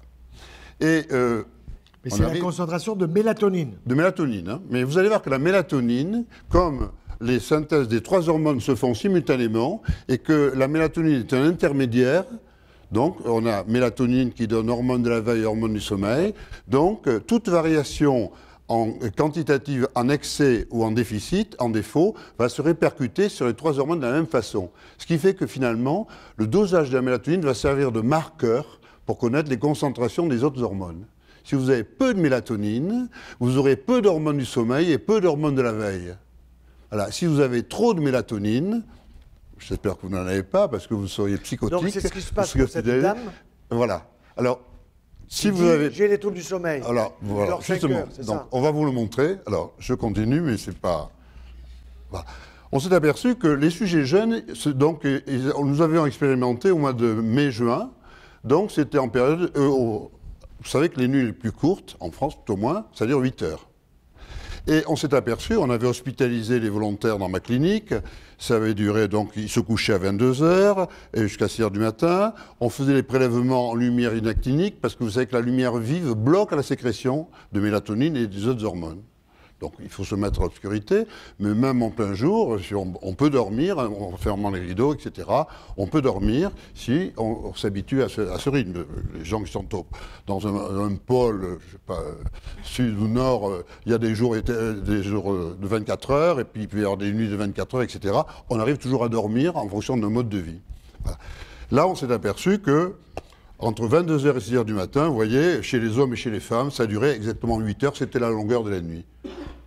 Quand on a fait les personnes âgées, alors là, surprise, toujours pareil, ils étaient dans la clinique et euh, ils, se couchaient à 22h, enfin, on éteignait les lumières à 22h et euh, ça durait jusqu'à 6h. Ça durait exactement 8 heures alors que la nuit était beaucoup plus longue. Vous voyez, quel que soit, et ça, c'est une découverte que personne ne connaissait, et vous voyez comment se passe la sécrétion de cette hormone.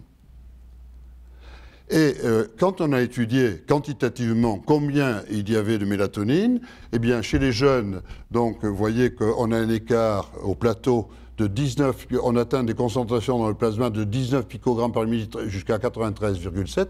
Chez les vieux, en moyenne, la sécrétion était plus basse, mais comme il y a énormément de variabilité entre les individus, le record à la baisse, c'était un vieux, il avait 9,6 picogrammes par millilitre, mais le record à la hausse, c'était également un vieux, il avait 124,7 picogrammes par millilitre, alors que la normale, chez le sujet normal, est de 50 picogrammes par millilitre. Nous sommes tous inégaux.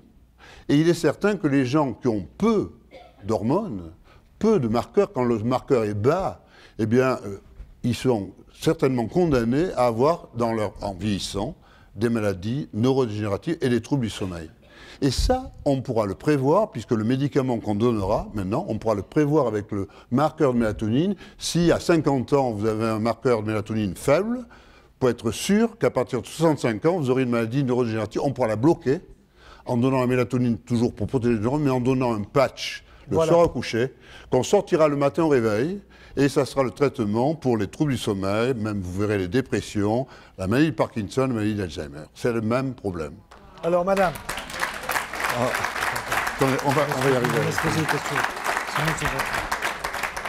Allez-y, posez la question. Quand est-ce que vous pensez que ça? Alors, je vais répondre tout à l'heure, si ça vous ennuie pas, parce que alors c'est la question que tout le monde pose. Alors, on va passer à la. à- on Attends, va- attends, tu as un monsieur qui pose une question. une autre question. Une, une brève, est-ce que euh, ce cycle euh, peut être influencé, par exemple, par l'été, l'hiver, des choses de même, ou est-ce que c'est une constante biochimique? quelle que soit la saison, quelle que soit la saison et la durée de la nuit, on a toujours 8 heures de sommeil. Chez les animaux, les mammifères, les vertébrés supérieurs, sommeil nocturne. Et chez les prédateurs, vous allez me dire comment ça se fait. Mais C'est toujours la nuit que fabrique les hormones, mais il y a une inversion des propriétés pharmacocinétiques, ce qui fait que pendant la nuit, c'est- la prévalence, c'est le 6MH qui est prévalent. Donc, ils sont éveillés la nuit pour attraper leur proie, et le jour, ils dorment. Madame, Moi, moi, j'ai, parlez fort. excusez-moi, j'ai une série de questions. Parce que là, on parle de la mélatonine euh, ou de la val- valentoline, Oui, voilà, ce qui sont des hormones naturelles. hein. Au Canada, la mélatonine est en vente libre. On peut acheter de la mélatonine pour se En comprimé. en comprimé. Alors c'est ça, je ne connais pas sa biodisponibilité, donc je ne sais pas jusqu'à quel point elle est efficace. 10%. La, la mélatonine, Ah, ah oui, Quand vous la 10%. mettez dans l'estomac, il y a 10% qui est absorbé. ok. 90% C'est pour ça qu'il faut donner 3 mg. Il faut donner 3 mg euh, le soir. Vous pouvez en prendre plus, hein, mais ça sert à rien. Euh, J'ai fait les pharmacocinétiques euh, donc de la mélatonine et il faut. Moi, je recommande 3 mg le soir au coucher. Alors, deuxième question. capsules. Jusqu'à jusqu'à 5. Oui, oui. Mais ça sert à rien. Ça sert à rien. 10, etc. Est-ce, Valentonine, c'est quoi son mode d'injection? Pardon? C'est quoi son mode de... Ah, c'est patch. Oui, c'est pas. Transdermique. À travers la Ah, bon, On va vous l'expliquer. Je vais vous l'expliquer. Comme les patchs hormonaux qu'on vous met à la ménopause. Puis j'ai une dernière question. Les effets secondaires, c'est quoi?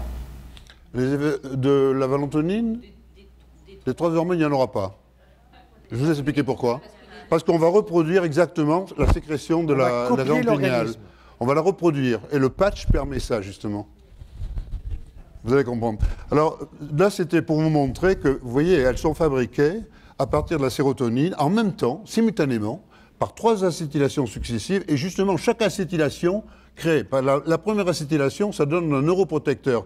Vous avez une position qui permet de réduire les radicaux libres. La deuxième, ça donne un psychostimulant aussi puissant que le LSD.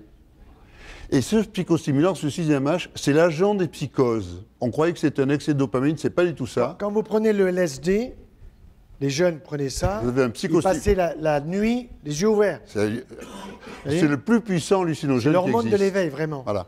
Et le simtoxermelan, c'est. Elle a les mêmes propriétés que le exactement les mêmes. Et le LSD doit sa propriété à sa ressemblance avec l'oxygène qui est une hormone naturelle. Voilà.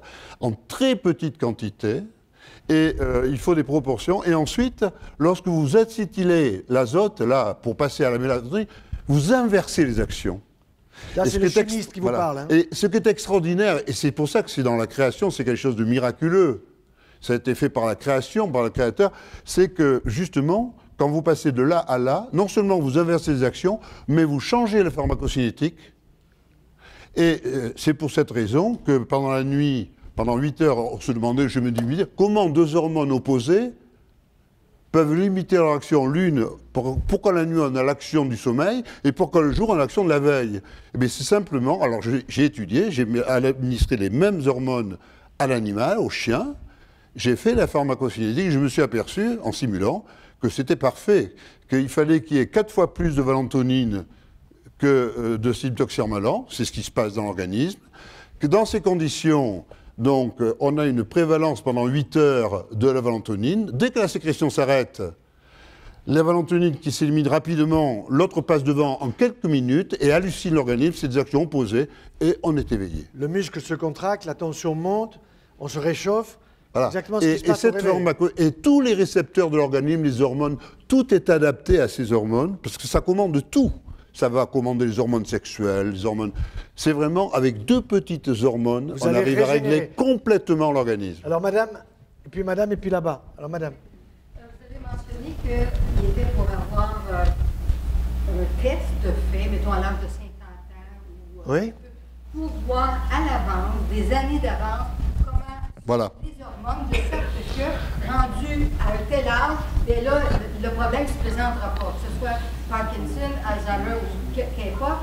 Mais pour les personnes qui sont déjà rendues à un niveau que la maladie a commencé, euh, c'est bon. Alors, voilà. Alors, ça dépend du stade. Voilà. Donc, euh, bon, plus tard, là maintenant, euh, alors, si c'est un stade terminal, Trop je ne pense pas que ça soit. Mais euh, au début, euh, quand euh, vous avez des troubles de mémoire, etc., on peut tout récupérer. là. Les troubles cognitifs, les pertes de mémoire, on peut faire dormir les gens, etc., on peut retrouver. C'est vraiment un médicament, du, on va rajeunir la glande pinéale. hein. Est- Et vous allez voir dans la maladie d'Alzheimer, à la fin, il y a absence totale de mélatonine. C'est le marqueur. Il y a zéro mélatonine. Et ça, ça n'avait pas du tout intrigué les gens. mais la mélatonine ne suffit pas, Ouais. vous la prenez en comprimé avec Alors. les 10% absorbés, pour fabriquer la suite. Vous avez compris que la mélatonine était le marqueur des autres hormones. S'il y a de la mélatonine, il y a les autres hormones. S'il n'y a pas de mélatonine, il n'y a pas les autres hormones. Continuez, Ça madame. marche ensemble. Moi, j'ai lu, j'ai suivi tout ce que vous faites depuis un an. Et puis, euh, vos patchs vont être disponibles cet automne, hein, le quatrième trimestre. Maintenant, une personne qui veut vos patchs, elle, faut, elle doit euh, elle va se faire un test de- avec la mélatonine. Oui. Ça sera prescrit par un médecin. Alors, ça sera. Non, non, alors. Non. On pense, on pense sortir les patchs. On est en train de les faire fabriquer. Donc, on pense sortir les patchs à la fin de l'année, en 2017. Bon, c'est quand même. Ça va bientôt venir, hein, bientôt arriver. On essaie d'aller le plus vite possible, hein, parce que on fait ça dans le cadre d'un fonds. euh, on a tout donné, c'est tout à fait bénévole. On est tous des bénévoles. Donc, euh, moi, j'ai donné. Mon épouse nous a pris les brevets. Nous avons donné les brevets en totalité à un fonds pour les malades. Voilà. Et jusqu'à maintenant, j'ai dépensé toute ma fortune. Voilà. Alors, vous avez, Madame, quelle est votre question? Je, je tenais d'abord à vous féliciter parce que c'est vraiment extraordinaire. Vous parlez plus fort, s'il vous plaît? Donc je voulais féliciter. Elle veut féliciter le professeur Fourtillon pour sa découverte. Merci. Bravo. Et ma question, c'est euh, quand on utilisera la, la, est-ce qu'on sera obligé d'utiliser ou de faire des tests pour voir si on sécrète ou pas de la mélatonine? Voilà. Normalement, vous voyez que quand on administre, quand la sécrétion commence à 22 heures, vous avez la sécrétion entre 22 heures et 6 heures, là. Dans les proportions. Et parce que vous voyez que le sildoxermalan, il est en dessous de la valentonine. hein. Vous voyez les courbes là. Bon. La mélatonine, elle, on pense qu'elle est au-dessus. Il y en a davantage que euh, de la valentonine et du sildoxermalan. Et vous voyez que pour avoir une idée de la concentration, donc au bout de quelques heures, trois heures après le début de la sécrétion, on arrive à un plateau. C'est-à-dire que la concentration est maintenue. Pourquoi? Parce que quand un médicament est administré, il y a une vitesse d'entrée dans l'organisme. Mais la vitesse d'élimination dépend de la concentration. Et à un moment donné, la vitesse d'entrée compense exactement la vitesse de sortie. Les entrées égale les sorties. À ce moment-là, les concentrations sont maintenues à un niveau constant. C'est ce qu'on appelle le plateau en pharmacocinétique. Et pour avoir une idée de la concentration, il faut mesurer au plateau. C'est-à-dire qu'on on mesurera à partir de 1h du matin. Vous allez me dire, mais une fois dans sa vie, ça vaut le coup. Hein Vous savez, dans quel type? Il y a des variations dans cette salle. Il y a certainement des gens qui en ont 50 fois plus que d'autres. Et on pourra le savoir très tôt. À l'âge de 45 ans, 50 ans, on pourrait savoir, parce que longtemps, ça marche longtemps, vous allez voir sur une courbe, et c'est quand ça commence à être en dessous de 5 picogrammes par millilitre, normalement on a une valeur de 50, là ça devient dangereux. Alors, monsieur, Attendez. oui. attends, il a une question. Allez-y. Parlez fort. Moi, si je vous ai bien compris, vous avez commencé la conférence avec longévité et alimentation. Oui. Donc, la présentation que vous êtes en train de faire, c'est que l'activité de la journée est conditionnelle à la qualité du repos. Exact. Si je veux avoir une grande activité, que je sois sportif ou non, Très intéressant. conditionnel C'est très intéressant. Oui, ça, c'est une question. que j'avais faite. D'accord, j'ai bien compris? Oui, oui, tout à Très- fait. non, mais c'est très important votre question. J'attends que vous finissiez. Maintenant, si on fait quelques modifications alimentaires en surplus, votre découverte est tellement importante que plusieurs médicaments utilisés en médecine actuellement pourraient être mis à la poubelle Oui. Oui, euh, tous, tous les psychotropes. et un très grand nombre de maladies seront empêchées de se développer. Vous avez Oui, tout compris. Absolument.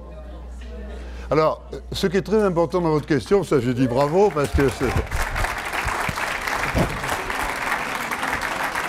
Je vous remercie d'avoir posé cette question. Parce que ce qui est très important dans cette découverte, c'est que toute notre activité pendant 24 heures dépend de cette sécrétion de nuit. Et ça, on ne savait pas que l'activité de la journée, la forme qu'on a dans la journée, dépend de la sécrétion de l'hormone du sommeil qui est, qui est- de la veille qui est faite la nuit. Si on a un problème de sommeil, on a un problème de, ve- de- de veille aussi. Si vous avez peu de mélatonine, vous avez peu de valentonine, donc problème de sommeil, mais vous avez aussi peu de 6MH. Vous serez fatigué. Elles sont toujours dans le même rapport. Donc pour être en forme finalement, même si vous dormez bien, si vous voulez être en forme le lendemain, vous prenez un bon patch, truc, vous allez bien dormir, mais le lendemain, vous aurez une dose canon de 6MH et vous serez en pleine forme. Et ça, c'est vraiment le médicament pour être en pleine Parce que forme. vous aurez eu le sommeil réparateur. Vous aurez un sommeil réparateur. Monsieur Le sommeil réparateur a deux fois. D'abord parce que vous reposez. Vous vous reposez, vous détruisez, grâce à la mélatonine, vous réduisez les radicaux libres qui détruisent toutes les cellules, du sol au plafond. hein, c'est comme la tornade blanche. hein. Ça vous détruit toutes les cellules, même la peau et tout. Toutes les cellules sont détruites par les radicaux libres oxygénés qui proviennent de la respiration. Donc, euh, évidemment, mais à côté de ça, les deux hormones, c'est elles qui règlent vos vies psychiques, votre psychisme, votre vie végétative, votre vie physique, votre tonus dans la journée dépend de ça. C'est pour ça qu'elles seront données ensemble. Donc, on ne peut les donner qu'ensemble dans les proportions données.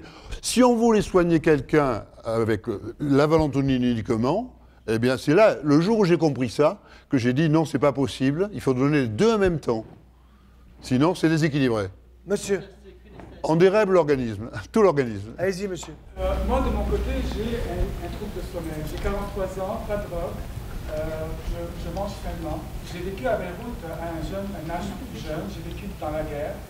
Euh, j'ai eu des troubles de sommeil. Là, à ce moment-là, je vis dans un, dans un cercle vicieux parce que j'ai beaucoup d'énergie dans la journée. Euh, je suis dans un état d'éveil euh, extraordinaire. Et le soir, je veux vivre encore davantage à dormir. Quand je me mets dans le lit, euh, ma, tête boule tout le temps. Ça tourne tout le temps. De, de mouvement. Puis j'essaye, je rêve des fois de- d'avoir un sommeil constant pendant une période vraiment constante. Vous êtes une bonne indication. J'arrive pas. Et vous ne prenez rien vous, Je ne suis pas capable de dormir plus que 5 heures. Et encore 5 heures, là, vous ne prenez pas de médicaments pas de médicaments, rien.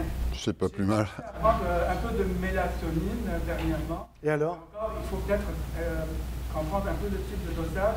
Mais j'essaie de comprendre d'où vient ce, ce manque de sommeil. Mais vous dites, vous avez vécu pendant la guerre à Beyrouth, tout ça, peut-être que ça a perturbé votre, votre mémorisation, etc., non? Mais à un moment donné, est-ce qu'il y a moyen de pouvoir euh, régulariser ça?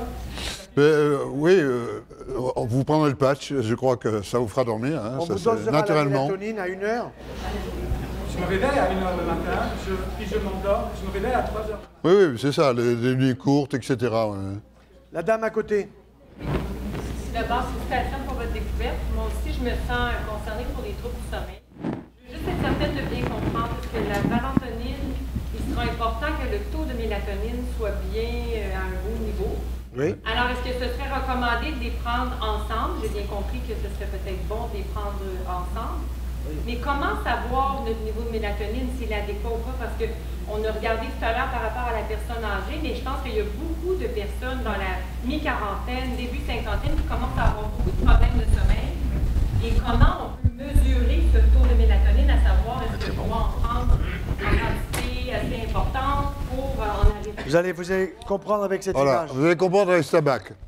Alors voilà, euh, ici, euh, nous avons représenté, si vous voulez, la- le marqueur mélatonine chez différentes personnes dans des zones. Vous voyez que normalement, les taux normaux du marqueur mélatonine, qui est, quand le marqueur mélatonine rend compte, c'est le marqueur de la valentonine du d'oxygène. Alors, si vous avez beaucoup de mélatonine, vous avez beaucoup de valentonine, beaucoup de d'oxygène. Alors, vous dormez bien, et si vous avez peu de mélatonine, vous avez peu de valentonine, vous risquez de mal dormir. Et vous êtes peu actif dans la journée aussi. Vous avez peu de 6MH. Les valeurs normales, chez l'homme, sont comprises entre 20 et 200 picogrammes par millilitre. Chez l'homme, c'est 50 picogrammes par millilitre, la normale, chez l'homme adulte jeune. Dès que les taux sont inférieurs à 10 picogrammes par millilitre, vous avez vu ici le marqueur 10, donc vous, rentrez dans la zone d'insomnie, vous avez des troubles du sommeil, vous pouvez avoir des troubles du sommeil.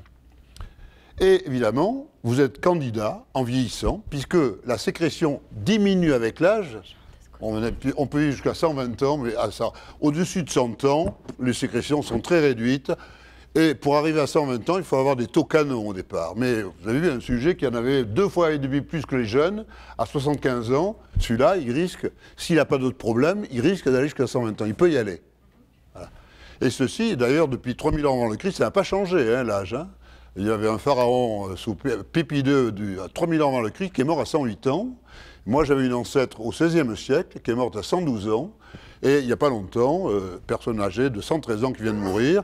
Jeanne Calment en France est morte à 120 ans. Et ça, on ne changera jamais. hein. Euh, Bien que Google ait annoncé qu'ils allaient, euh, celui qui avait 800 ans venait de naître, etc. Votre autre question, c'est quoi? Juste savoir, parce que justement, moi, comme je vous dis, je me sens concernée parce que ça peut faire une vingtaine d'années que j'ai à peu près 10 micro-réveils la nuit. Ah ouais. Donc, j'ai vraiment un sommeil qui n'est pas récupérateur. Mais comment faire pour savoir Eh bien, il faut doser. Voilà, on va doser votre mélatonine. mais où ça se fait Ah ben, voilà. Chaque chose en son temps. On est, on est en train de mettre en place, mais c'est c'est pas facile. Alors, si vous voulez, on, on va démarrer le traitement Alzheimer, etc., et Parkinson, sans avoir généralisé, parce qu'il faut, il faut, il faut mettre en place le dosage dans tous les laboratoires de bioanalyse du monde, le dosage de la mélatonine, c'est pas évident. Il y a un dosage radioimmunologique qui est plus facile, mais il n'est pas répandu. Donc ça, ça va prendre plus de temps. Je crois que l'urgence, c'est de traiter les gens qui ont maladie d'Alzheimer. On sait qu'ils ont zéro mélatonine, alors là, il n'y a pas de doute. hein. Et les maladies de Parkinson aussi, on sait qu'ils en ont peu. Mais euh, si vous avez des problèmes de sommeil, vous prendrez le patch euh, bien avant qu'on sache si vous avez beaucoup de mélatonine ou pas. Mais si vous avez des problèmes de sommeil, vous avez peu de mélatonine. Vous avez peu de mélatonine. Voilà. Ensuite, en descendant, à partir de 5, vous rentrez dans la zone des maladies neurodégénératives. On a situé ça à 5 picogrammes par millilitre. On va documenter. hein.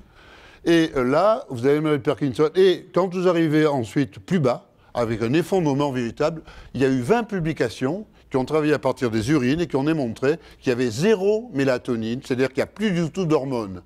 Or, chez les sujets qui ont médité jamais, ils ont des problèmes de perte des fonctions mentales, ils n'ont pas l'hormone de la cognition, l'hormone de la veille, il y en a zéro. Ils retiennent rien. Ils retiennent rien. Ils n'ont plus de vigilance. Ils n'ont plus de sommeil. Et tous ces sujets, quand on leur apprend qu'ils ont la maladie de Parkinson et Alzheimer, ils sont déprimés. Ils sont tous sous antidépresseurs. C'est une mauvaise nouvelle. Comme euh, les mauvaises nouvelles, vous allez voir que dans la dépression, euh, c'est euh, une insuffisance de l'hormone valentonine qui entraîne la dépression. Quand vous avez un- euh, on va vous le montrer, j'ai des petites vidéos de 4 minutes Alors, attendez. Me- qui vont monsieur, vous montrer ces maladies. Monsieur a une question là. Il y a encore beaucoup de questions, Jean-Bernard. Monsieur. Chut. Oui, on arrive, on arrive, on arrive. Monsieur. Parlez fort. Merci à vous, euh, docteur Joyeux, de, votre présence. Avec plaisir. Je suis un fervent lecteur de vos articles. Merci. Votre question. Oh oui. Et D'ailleurs, je, suis- je suis ici à cause de ma lecture, euh, D'accord. euh, souvent euh, par le biais de vos courriels. D'accord. Oui, mais J'ai beaucoup, changé beaucoup de médicaments, justement, que j'ai pu les mettre ensemble pour donner des résultats intéressants. D'accord. La question est la suivante. Je comprends le, le dialogue qu'il y a entre ces trois éléments-là, mélatonine, sérotonine et votre découverte à vous. Alors, ces, trois, ces, ces trois hormones fonctionnent simultanément. Mais ma question est la suivante. C'est que euh, la nuit, on se réveille, on fait pipi, on fait ça. Mais qu'est-ce qui arrive à ce moment-là? Où est-ce que je suis par rapport à... Au dosage. Parce qu'on sait la nuit, c'est très important. Non, mais- Non. si votre vessie est pleine, il vaut mieux aller la Non, vider. quand vous vous réveillez, alors, voilà. Non, alors, quand vous avez, quand vous avez envie de faire pipi, c'est normal que vous vous réveillez, hein, c'est normal. Non, mais pour, pour- pour être clair, comme vient de le dire le professeur Fontier, Voilà. quand vous avez votre vessie qui est pleine, C'est vous avez normal. une information qui vous vient par le système sympathique, qui vous dit c'est plein, il va falloir évacuer. Vous n'allez pas pisser dans le... Le sommeil physiologique, c'est pas un sommeil anesthésique. Quand vous donnez un produit, une benzodiazépine à un chien, il ne se réveille pas la nuit quand il y a un cambrioleur. Puis il est anesthésié. Le chien. Mais quand, euh, s'il si- dort normalement, le chien comme nous, il va dormir pareil, avec les mêmes hormones. Il va se réveiller quand le cambrioleur va passer. Vous faites ça à quelqu'un qui dort, il se réveille. Absolument. C'est ça, le- c'est pas. Euh, le sommeil profond, c'est un réparateur, on le voit dans les ondes, mais vous vous réveillez immédiatement dès qu'il y a une alerte. Sinon, vous êtes anesthésié. Hein Et c'est pas du sommeil physiologique réparateur. le sommeil- Donc c'est normal que vous réveillez. Mais quand on se réveille sans avoir envie de faire pipi plusieurs fois dans la nuit et qu'on ne dort pas suffisamment, c'est qu'on a un problème C'est d'hormone que du la sommeil. prostate est peut-être à vérifier quand même. Alors, mais je vous dirai après quelques points importants au, au point de vue de la relation avec l'alimentation. Madame, Oui, c'est ce que je, je voulais amener euh, ce point-là plus, parce que moi j'ai 50 ans, j'ai pas de problème de sommeil. bravo. Ce que je veux, c'est prévenir mes prochaines années, Voilà. Bien sûr. continuer peut-être à dormir, mais être en santé. D'accord. Donc euh, le sommeil, oui, je, euh, je. Donc simplement, vous voulez, vous voulez savoir au fond quels sont Alors. les éléments pour éviter l'Alzheimer. Alors, vous. Quelque part, Qu'est-ce que, Oui. qu'est-ce que je dois Voilà, alors, donc, dans mon quotidien Vous dormez bien pour l'instant. Vous dormez bien comme la plupart des gens, bien que vous ayez, vous- peut-être que vous avez dix fois moins d'hormones du sommeil que d'autres, mais jusqu'à cette valeur de 5 picogrammes par millilitre, c'est vivable. Il n'y a pas de problème, on dort bien. Et puis un beau jour, on arrive à cette zone. Et dans cette zone, il n'y a pas suffisamment de mélatonine pour protéger le neurone. Il y a plus de neurones qui meurent que de neurones en fonction de la neuroplasticité là, dont là, il parlait. C'est là que je vais ajouter un point important dans notre comportement alimentaire. C'est qu'il y a une découverte récente qui date de 2-3 ans concernant le calcium d'origine animale. Il faut bien distinguer le calcium d'origine animale du calcium d'origine végétale. D'accord? Bon. Le calcium d'origine animale, il est absorbé si le tube digestif n'est pas poreux, pas plus de 25%. Ça veut dire 75% à la sortie. Par contre, le calcium d'origine végétale, dans une pomme, dans une poire, dans des amandes, des noisettes, si vous mastiquez bien, absorption 75%. Ça, c'est un premier point. Deuxième point, ce calcium d'origine animale, quand il est en excès, parce qu'il y a de la porosité intestinale, parce que trop de gluten, etc., il peut être un interrupteur de la fibre nerveuse. Qu'est-ce que c'est un interrupteur de la fibre nerveuse? Je décide de prendre dans ma poche un stylo. Je n'ai pas fini de le dire que je l'ai dans la main. Je décide de prendre dans la poche mon stylo et ma main n'obéit pas. Qu'est-ce qui se passe? Il y a une interruption de plusieurs fibres nerveuses, hein, beaucoup de fibres nerveuses. Eh bien, très certainement, il y a des éléments chez l'animal qui montrent que l'excès calcique crée des interruptions des fibres nerveuses. Et donc peut-être des interruptions dans le fonctionnement de la fibre nerveuse où il y a de la myéline tout autour de la fibre nerveuse pour que la, la fonction de la glande pinéale qu'il connaît parfaitement, qu'il n'y ait pas une bonne arrivée de l'information de, de vers la glande pinéale, que les acétylations se fassent mal. Vous comprenez? Parce que c'est de la chimie, mais c'est aussi de la physique, au sens du passage, on l'a vu, de l'œil qui arrive sur la rétine, qui envoie au noyau, au noyau supraoptique, etc. L'information, ça c'est l'information de la journée. Donc, la consommation excessive de produits laitiers animaux, elle était juste dans le passé, parce que nos parents faisaient bouillir le lait, certainement ici comme en France. Alors qu'aujourd'hui, c'est ultra haute température. Vous avez des facteurs de croissance dedans qui sont destinés aux veaux. C'est pour ça que les hommes ont des prostates énormes. Quand vous avez un homme qui a 100 cm3 de prostate, vous lui dites, monsieur, vous avez une belle prostate. Il est très fier. Mais vous lui dites, mais vous avez une prostate de veau. Vous comprenez Et ensuite, vous lui dites, euh, euh, ça va la mémoire Sa femme vous dit, mais non, il oublie tout le temps ses lunettes, il ne sait pas où sont les clés de sa bagnole, etc. Il commence à avoir le cerveau de veau. Et le cerveau de veau, c'est l'Alzheimer. Si on donne du lait d'une maman à un veau, on va le faire parler. Vous comprenez Mais il ne grandira pas. Voilà. Le jour où vous ferez votre ah dosage de mélatonine, j'espère que ça viendra le plus rapidement possible, tout le monde va connaître son, son marqueur mélatonine. Même les compagnies d'assurance le demanderont peut-être, hein, c'est pour euh, éviter les risques. J'ai pas envie d'avoir un patch, préfère euh, dormir ah oui, mais attendez, oui. Non, si vous êtes dans la zone, euh, quand vous aurez, par exemple, à 60 ans, si vous êtes dans la zone inférieure à 10, près de 5, là, vous avez intérêt à prendre la mélatonine qui va continuer à protéger vos neurones, mais vous n'aurez pas les hormones. Et si vous voulez bien dormir à ce moment-là, vous prendrez le patch. C'est très facile, un patch. Vous le prenez le soir, et vous, au coucher, et vous le sortez le matin quand vous voulez vous réveiller. Si vous voyagez, même c'est pas compliqué, vous arrivez, vous venez de France, vous arrivez à, Montréal, vous avez 6 heures décalage, vous voulez vous coucher en même temps que les autres, vous mettez le patch, et vous, vous les levez en même temps que les autres, vous enlevez le patch. vous réglerez comme ça. Vous réglerez vos rythmes, etc. Mais vous éviterez euh, d'avoir une maladie d'Alzheimer. On éradiquera la maladie d'Alzheimer. Les gens n'auront jamais ces maladies. Allez-y. ma question, c'est est-ce que ça va être sous forme de traitement sur une certaine durée ou, ou à vie? À vie. Bonne question. À vie, quand on prend le traitement pour un parkinsonien ou mais il faudra le prendre à vie, mais c'est pas terrible. Hein 1 euro par jour.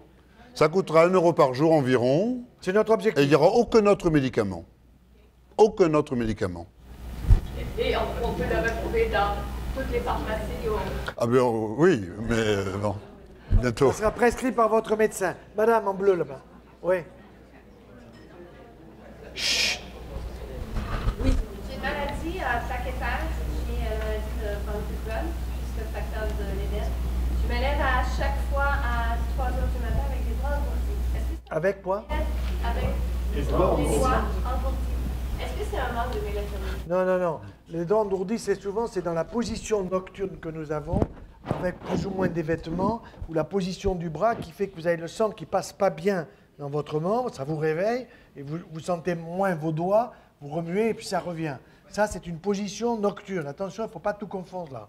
Hein. et ça peut être aussi des pyjamas ou des, vêtements qui vous serrent quand vous tournez et vous empêchez le sang de passer. Comment? Oui, mais ça peut être la position mais là, vous, vous parlez de quelqu'un... Attendez. C'est vous, vous parlez... Donc au Québec, on dort vous à parlez de vous, là? En France, on dort habillé. Hein. Excusez-moi. Vous parliez de vous, là? Ah, d'accord. Non, je croyais que c'était de quelqu'un qui a la maladie de Alors, Parkinson. il y avait. Monsieur, parlez fort. Oui, je parle fort. J'ai une question concernant la narcolepsie. La- Ah oui, ça c'est intéressant. La narcolepsie. C'est la maladie du sommeil. hein.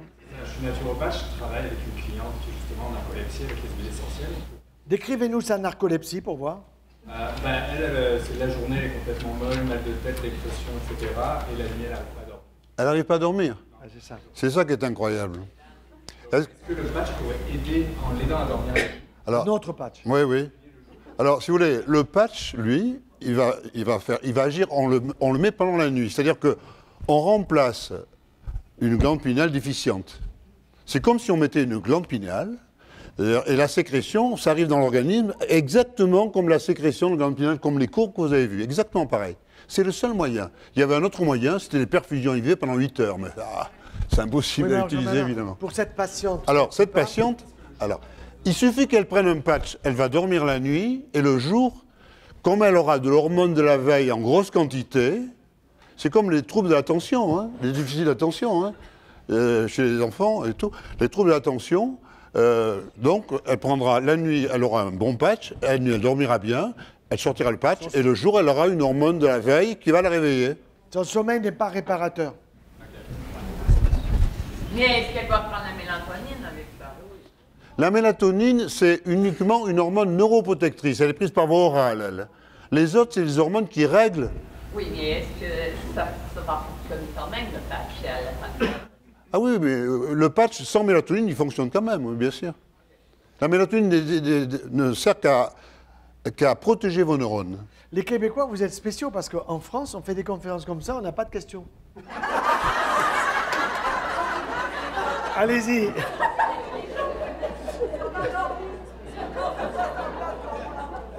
Chut, chut, chut, chut, chut. Bonsoir messieurs, dames, bonsoir messieurs. Alors, euh, c'est pas vraiment une, j'ai une question, mais voilà, jusqu'à l'âge de 37, de 37 ans, je, je dormais super bien, mes 8 heures. Même, euh, je bougeais à peine. J'avais même pas besoin de refaire mon lit le lendemain matin, tellement que je dormais dans la même position.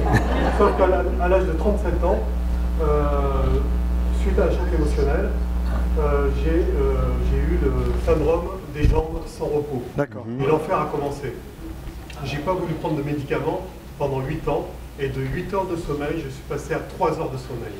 Après, bon, bien sûr, j'ai été voir un, un neurologue qui m'avait prescrit à l'époque euh, Ativan, euh, il y a 8 ans de cela. Et après, un an après. Efficace ou pas? Pas efficace. Zéro. Efficace les premiers temps. Oui, c'est ça. Comme il y a accoutumance, euh, c'est devenu très vite inefficace.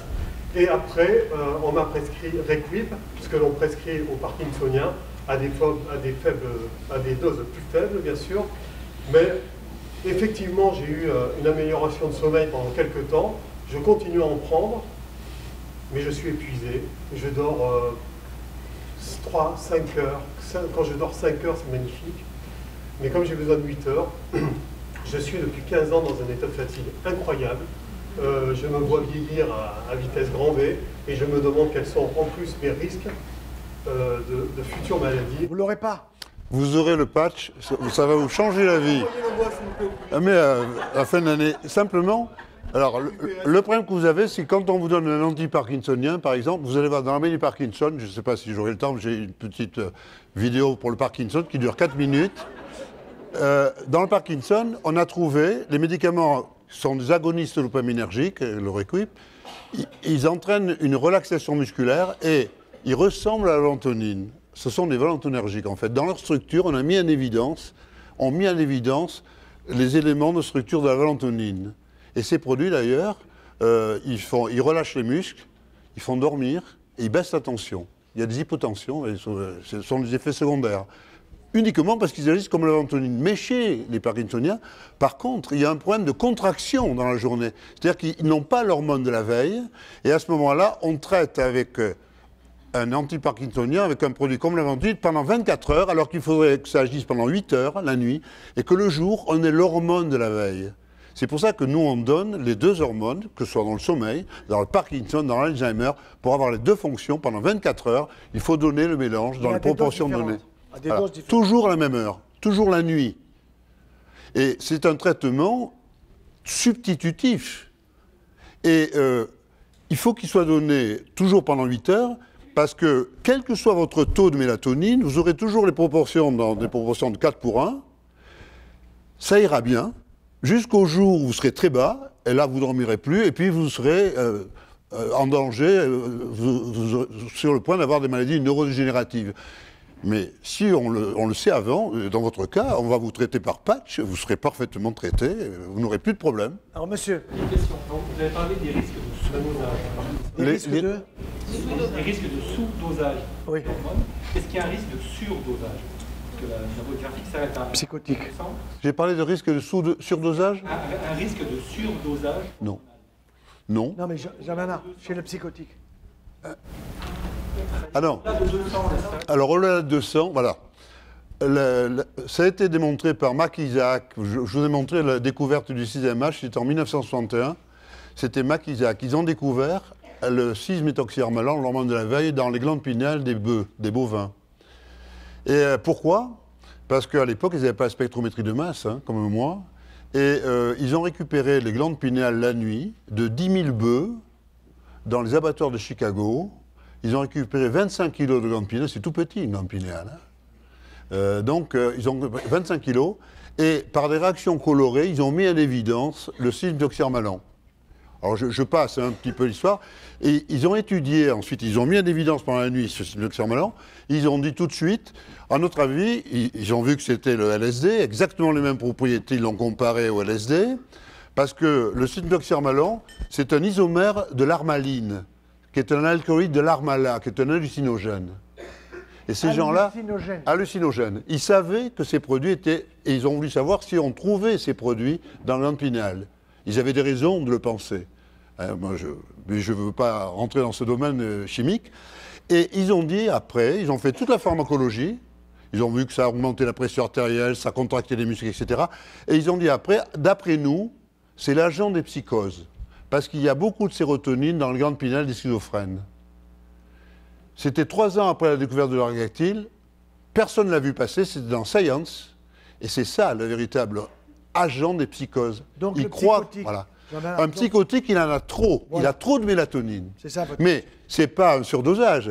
Il est, c'est le marqueur qui est trop élevé. Il est Alors, halluciné. qu'est-ce qui se passe? Il a, alors, donc, il dort très bien. La nuit, il a toujours la, la valentoline qui est au plafond. Il dort très très bien. Dès qu'il se réveille, et dès que la dès que l'autre passe devant, elle est hors norme. Il est halluciné. Il a 10 ou 100 fois plus que les autres. Et il emmerde tout le monde. Eh bien, il est, il est halluciné. Mais alors à des degrés différents. Et qu'est-ce qu'on a fait? Qu'est-ce qu'ils ont fait avec l'argactyle? Ils ne savaient pas comment ça agissait.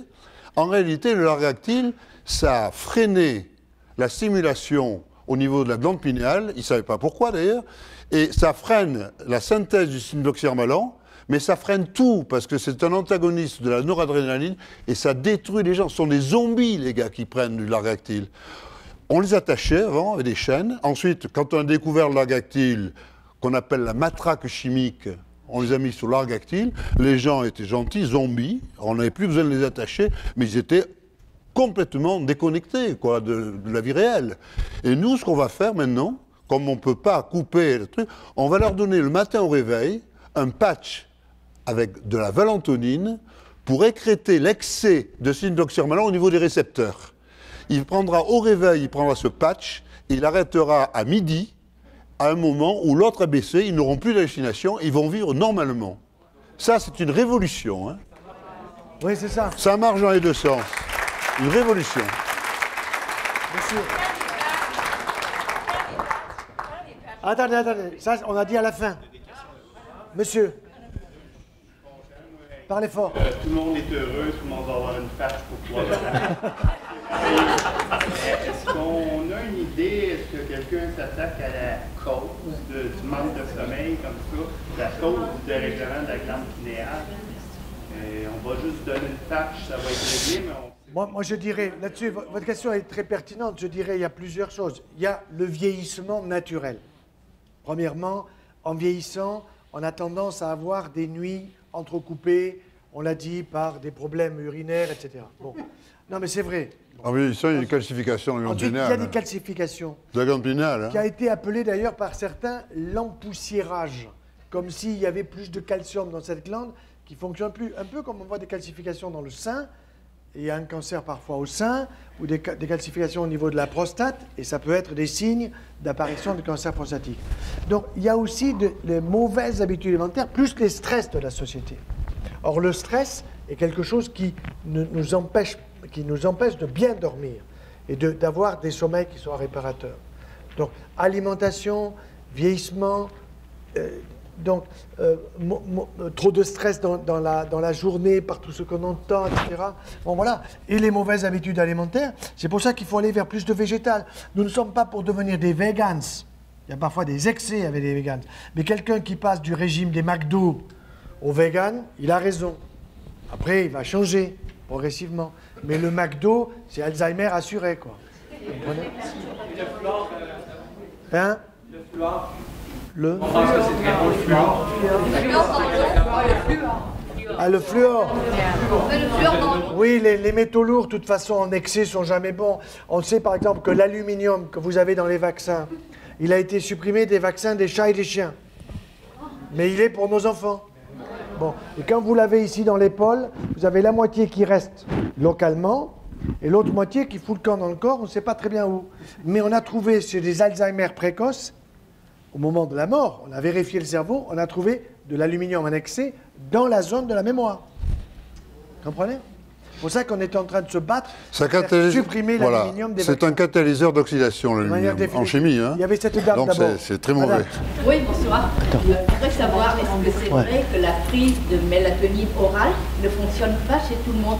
Moi, des fois, j'en prends et j'ai ma fille qui est... Non, d'abord, d'abord, quand vous prenez la mélatonine, oui, oui. Elle, elle- elle m'a dit, moi j'ai pris un temps, puis j'ai arrêté.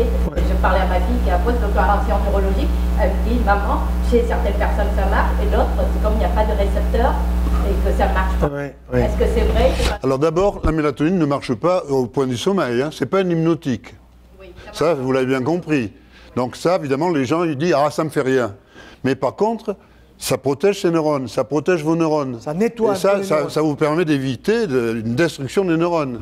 Et ça ne peut pas induire justement la, euh, la fabrication des autres hormones Ah non, absolument pas, parce que vous avez euh, les hormones que vous avez. euh, c'est en fonction de l'enzyme. Vous utilisez toute votre capacité enzymatique, tout votre potentiel d'enzyme vous donne la est utilisé pour donner mélatonine, mélatonine et cytoxine. Alors, donc il faudrait donner l'enzyme et le produit. Non, ça marche pas. mélatonine, finalement, quand on la prend comme ça, pour la plupart. Ah, il faut la.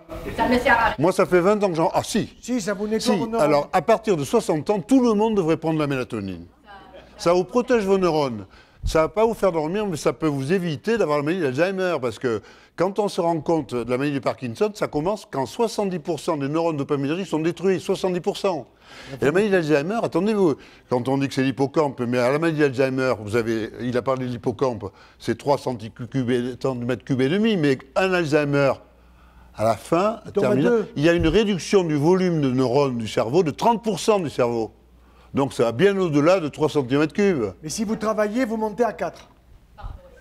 4 cm3. Vous pouvez... Non, mais ça, ça a été démontré que par le, le fonctionnement cérébral associé à tout le reste autour, on peut augmenter le volume de son hippocampe. Voilà. Mais le Ça, c'est intéressant. Voilà, mais l'hippocampe, c'est la fin. Euh, Tout se passe en amont, parce qu'il y a des neurones qui font un mètre de long. Alors, c'est pas, c'est au niveau de l'hippocampe, c'est le siège de la mémoire, mais on ne sait pas à quoi c'est dû, parce que tout démarre en, euh, La mélatonine, il faut prendre 3 mg par voie orale. Vous pouvez prendre plus, hein, mais ça ne sert à rien. Il faut prendre des gélules ou des capsules de 3 mg. C'est pas la peine de prendre des effets retard, tout ce qu'on vous dit, parce que la mélatonine, on la recommande pour le sommeil. Ça ne sert à rien, ça ne fait pas dormir. Ah. Alors, ma- 3 mg 3 mg, ça suffit. Madame, J'ai fait les cinétiques, ça je peux vous le dire. parlez fort. Mettez-vous debout et parlez fort. J'aimerais poser une question sur l'alimentation. Oui, allez-y. Euh, J'aimerais votre avis sur l'alimentation crue euh, le soir. Est-ce que selon vous, de manger par exemple des carottes ou des concombres, Mm. la salade, D'abord, d'accord, je, je- je vous réponds. Le mot alimenta- cru- alimentation crue, il faut le changer parce que ça fait crudivoriste. Et les crudivoristes, ce sont des gens qui sont dans des sectes. Il n'est pas question d'être dans des sectes ou d'être qualifié comme ça. Par contre, dites alimentation de produits frais. Une pomme fraîche. des carottes fraîches. Vous n'avez pas besoin de les faire cuire si elles sont bio en plus. D'accord? Là, vous aurez toutes les qualités nutritionnelles. Plus vous aurez du végétal qui sort, je dirais, de chez le maraîcher, plus il est proche de la nature, ce végétal, meilleur c'est pour vous. D'accord? On devrait avoir 80% de végétal, 20% de produits animaux. En réalité, d'une manière générale, les populations sont à 80% de produits animaux et 20% de produits végétaux. On est dans l'erreur. Non, non, mais ça, j'entends, mais quand je dis cru, justement. Oui, cru, ça veut dire frais. Non, mais c'est pas cuit. Eh ben, c'est pas cuit, oui, d'accord. non, mais justement, est-ce que de manger, euh, est-ce que le soir, ou pas Oui, mais le soir, nous prenons une salade. Le soir, de manger des choses ne sont pas cuites. Oui. Est-ce que justement ça peut être. Non, tout dépend quelle. Alors là, tout dépend quelle est la cuisson. Si vous avez des cuissons qui sont trop longues. Cru, cru, cru, cru. Il parle des crus, hein. Oui, non, mais je sais, vous parlez du cru. Mais vous n'allez pas manger, si vous mangez une viande le soir, vous n'allez pas la manger crue. Il parle des fruits, hein. Il parle des fruits. Hein. Collation Elle parle des fruits. Euh, si le soir je mange une carotte crue. Eh ben, c'est très bien. C'est très bien. Eh, ben, c'est ça. Non, mais parce que j'avais déjà entendu par exemple manger de la salade. Oui. Justement, est-ce que ça agresse un peu Si vous la mastiquez bien, vous n'aurez pas d'agression. Mais si vous la mastiquez trois fois et vous avalez, c'est pas bon. A trop d'huile, c'est Vous pas aurez bon des non plus. Vous aurez des phytates. Il n'y a pas de contre-indication de manger quelque chose de non cuit. Bien sûr. Non, bien sûr que non. Ok, Mais éviter, éviter les crudités acidifiantes. Acides, par exemple, tomates, orange, pamplemousse, ça c'est quand même acide. Et si vous prenez quand même des aliments acides, il faut les garder deux fois plus dans votre bouche et faire tourner avec la salive qui va équilibrer l'acidité. Qui va alcaliniser un peu, oui. Euh, vous justement, vous parliez de l'odeur des urines, par exemple, quand on mange des asperges. Oui. Comme ça, vous savez que vous en avez mangé, quoi. Voilà, les betteraves, par exemple. C'est un marqueur, hein. Est-ce que ça, Non, ça c'est normal. Euh, D'abord, ce qui est important, c'est que si vous mangez des asperges et que vous ne le sentez pas aux urines, c'est que votre odorat, il déconne. D'accord? Et en général, c'est très rapide. Hein C'est- c'est dans le, quart d'heure qui suit. Si c'est très coloré, on mange des betteraves, etc. Non, non, non, c'est pas grave. Mais l'important quand même, c'est d'avoir des urines qui sont abondantes et qui sont pas trop odorantes ou odoriférantes, comme vous voudrez, quoi. Vous voyez? Mais pas trop foncées. Attendez, là-bas, là-bas, au fond, le monsieur, il a mal au bras. Ah, c'est vous, alors Allez-y. Ici, au Québec, Valentine, ils font de la poutine. Oui, on, on m'a dit, on m'a dit en venant au Québec, fais gaffe, on va te proposer Poutine. J'ai pas compris ce que ça voulait dire. Euh, J'aimerais me procurer euh, le produit, mais avant que ça arrive au Québec, ça va prendre euh. Non, ça va peut-être aller Non, plus ça vite. va arriver peut-être aussi vite qu'en France. Puis en même temps, ben, euh, ça va coûter combien pour une année? Ah, alors, ça sera un médicament. euh, Alors, voilà. 365 euros. Alors, no- notre but, alors, étant donné que nous, on veut contrôler le médicament jusqu'au bout, c'est-à-dire qu'on va le donner, on va le donner, on va le donner à commercialiser à une dizaine de laboratoires, mais ils n'auront qu'à le vendre, c'est tout, tout sera prêt. Donc, euh, on va faire d'abord une étude clinique, euh, donc euh, à grande échelle, dans les troubles du sommeil, dépression nerveuse, Parkinson, Alzheimer. On espère, on- peut-être qu'on démarrera en même temps au Québec et en France, dans, parce que c'est deux pays francophones. Hein? C'était l'excellente chose. On a, on a un projet. Et donc, le traitement, on, on veut qu'il soit le plus faible possible, parce que d'abord, ça n'a pas coûté très cher, puisque ça a été une révélation. Je pense qu'on a investi, bon, c'est moi qui ai investi entre 10 et 20 millions, mais c'est rien. Les laboratoires, pour le moindre médicament euh, quelconque, ça coûte au moins 5 milliards. Souvent 20 milliards, ils vont jusqu'à 20 milliards. Donc ils sont obligés de répercuter ça sur le prix du médicament. Nous, on pense, étant donné que ça sera un médicament à large échelle, vendu à grande échelle, pour moi, dans deux ou trois ans, il y aura 2 milliards de gens qui le prendront tous les soirs dans le monde entier. C'est-à-dire que si on passe d'emblée par les labos... Pour dormir, pour les maladies 10 ans. neurohydraté. Donc on pense que ça sera moins d'un euro par jour. Mais vous n'aurez que ça à prendre. C'est-à-dire 30 euros par mois. Que ça. Ça sera remboursé en plus. 30 euros par mois, c'est rien. Ah, Jean-Bernard, monsieur au fond. Merci. Moi, ma question est un peu attachée à ça. Allez-y. Euh, on parlait du sida et le sida. Plus fort. Le sida, le sida a des, a, entre guillemets, des solutions, mais malgré tout, l'industrie pharmaceutique a pris le dessus pour vendre ses médicaments. Euh, le cancer, pour certains cancers, c'est la même chose. Là, vous arrivez avec votre produit qui est miraculeux, bravo. Mais qu'est-ce qui se passe face au, business euh, pharmaceutique qui est en face de ATU. Eh bien, oui. On, on- le sait, on va déranger beaucoup de monde d'abord, parce que euh, toutes les équipes de recherche qui ne trouvent rien depuis des années, parce qu'ils sont sur de fausses pistes, ils confondent les causes d'une maladie avec ses conséquences. Ils pensent que ce sont les bêta-amyloïdes, vous en avez entendu parler, euh, donc ils veulent les éliminer, alors que c'est la cause. C'est comme si, dans une infection, vous vouliez détruire le pus plutôt que la, la cause d'infection, ce sont des bactéries qui infectent. Bon, là c'est pareil. Ils ne connaissent pas la cause. il faut être, pour être sur la piste, il, il fallait découvrir la valentonine. Moi, je suis allé directement à l'hormone du sommeil, et ensuite, je suis remonté à l'hormone de la veille, et puis euh, j'ai retrouvé cette cascade biochimique, cette sécrétion de trois hormones qui règlent tout l'organisme. Alors Jean Et qui fait défaut répondre sur- Donc, on, on obtiendra, attendez, je vous explique, on en- obtiendra certainement une ATU. En France, c'est possible, ça s'appelle une autorisation Temporaire d'utilisation. avant l'AMM. Parce que l'AMM, c'est 10 ans pour avoir un AMM et des milliards. Ah Donc, non, non, non, non, non, pas disant quand on a fait Quoi les études cliniques, non, non. Oui, mais enfin- ouais. C'est-à-dire que les labos, les labos utilisent, si vous voulez, le temps pour euh, qu'on consomme les médicaments qu'ils ont fabriqués précédemment avant qu'on arrive au nouveau. Quoi. Voilà. Donc c'est pour ça que nous avons voulu les shunter pour aller plus vite pour le grand public. Est-ce que c'est considéré euh, au niveau. euh, Pouvez-vous parler plus fort parce que la discothèque est importante? Je vais répéter. Est-ce qu'elle est considérée comme médicament ou on peut la considérer? Non, non, médicaments, médicaments. Oui, alors on veut qu'il soit considéré comme un médicament, parce que, effectivement, ce produit n'est pas du tout dangereux, on pourrait le mettre en vente libre, mais ça serait quand même une erreur, parce qu'il ne faut pas utiliser, c'est quand même un médicament, mais les médicaments, c'est pas, c'est pas parce qu'ils sont dangereux, ou s'ils ne sont pas dangereux, c'est pas la raison pour laquelle on peut les mettre en vente libre, il ne faut pas en abuser, etc.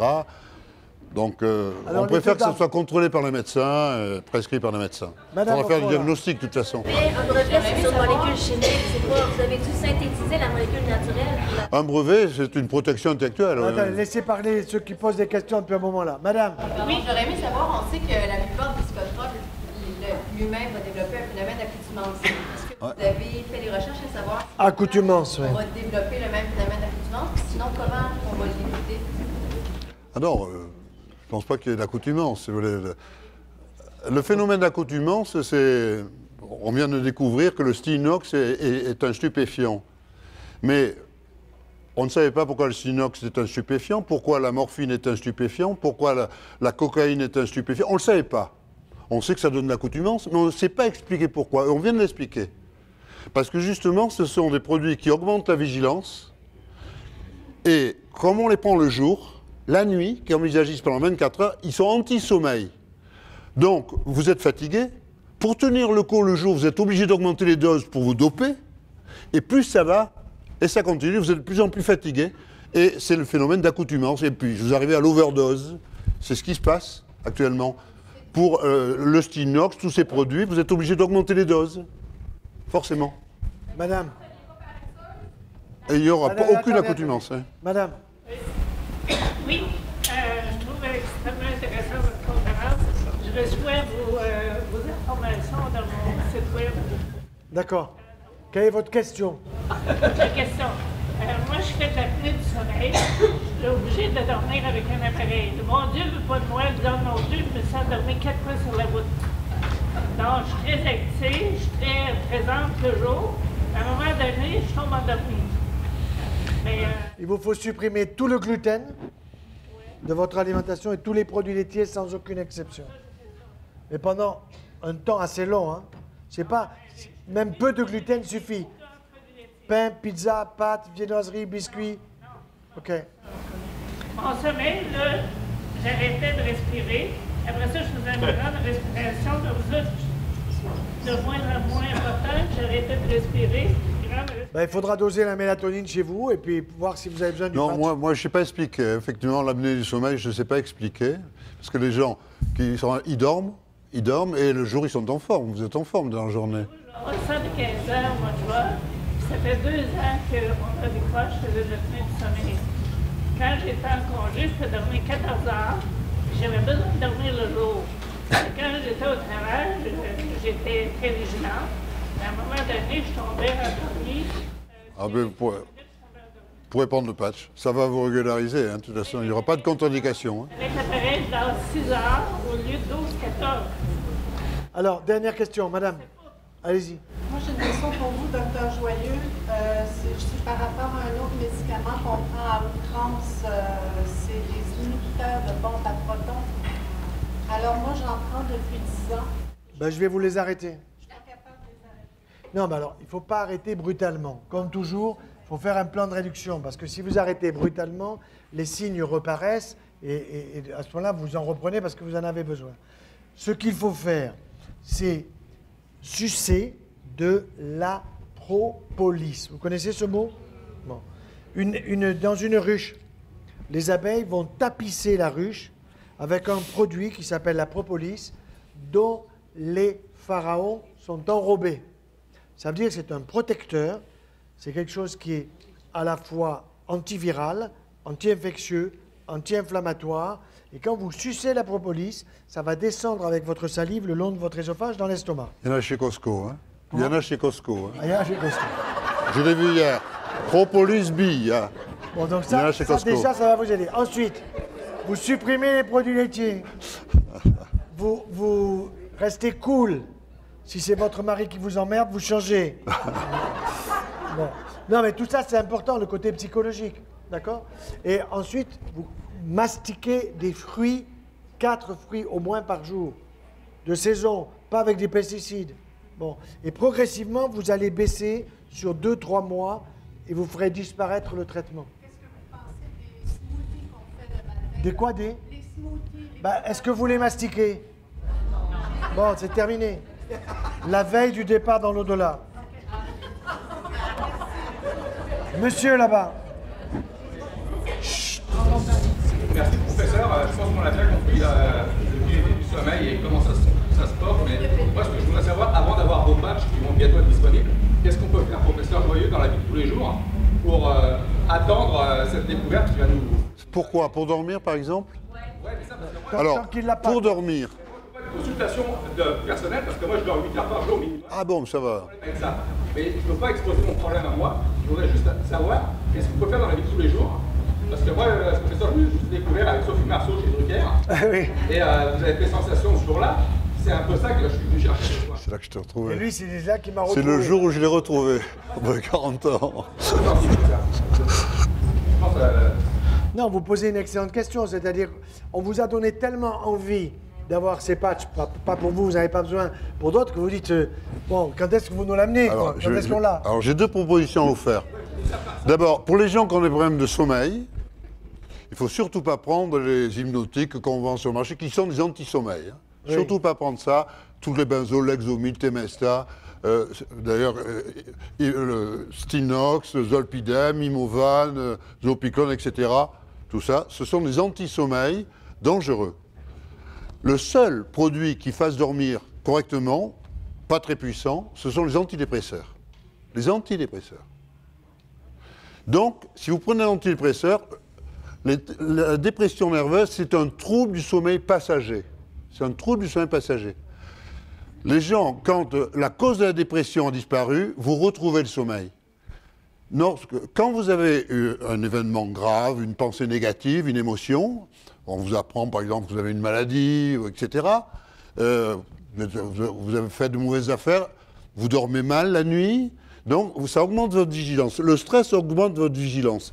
Et à ce moment-là, la capacité du système veille-sommeil est insuffisante pour abaisser la vigilance en dessous de la barrière du sommeil. Donc, il faut renforcer le système veille-sommeil. Et à ce moment-là, il faut prendre le patch. Bon. En attendant, quand on n'a pas le patch, il faut prendre un antidépresseur qui agisse uniquement en augmentant le sommeil, exactement sur le même récepteur 5-HT2C. Et ça, notre découverte a permis de comprendre le mode d'action des antidépresseurs, qui n'était pas connu. On ne le savait pas. Donc la dépression, c'est un trouble du sommeil passager. Quand la cause est disparue, la dépression est terminée, vous reprenez. C'est pour ça qu'on dit qu'on guérit toujours d'une dépression. Quand on ne s'est pas flingué, quand on ne s'est pas fichu en l'air.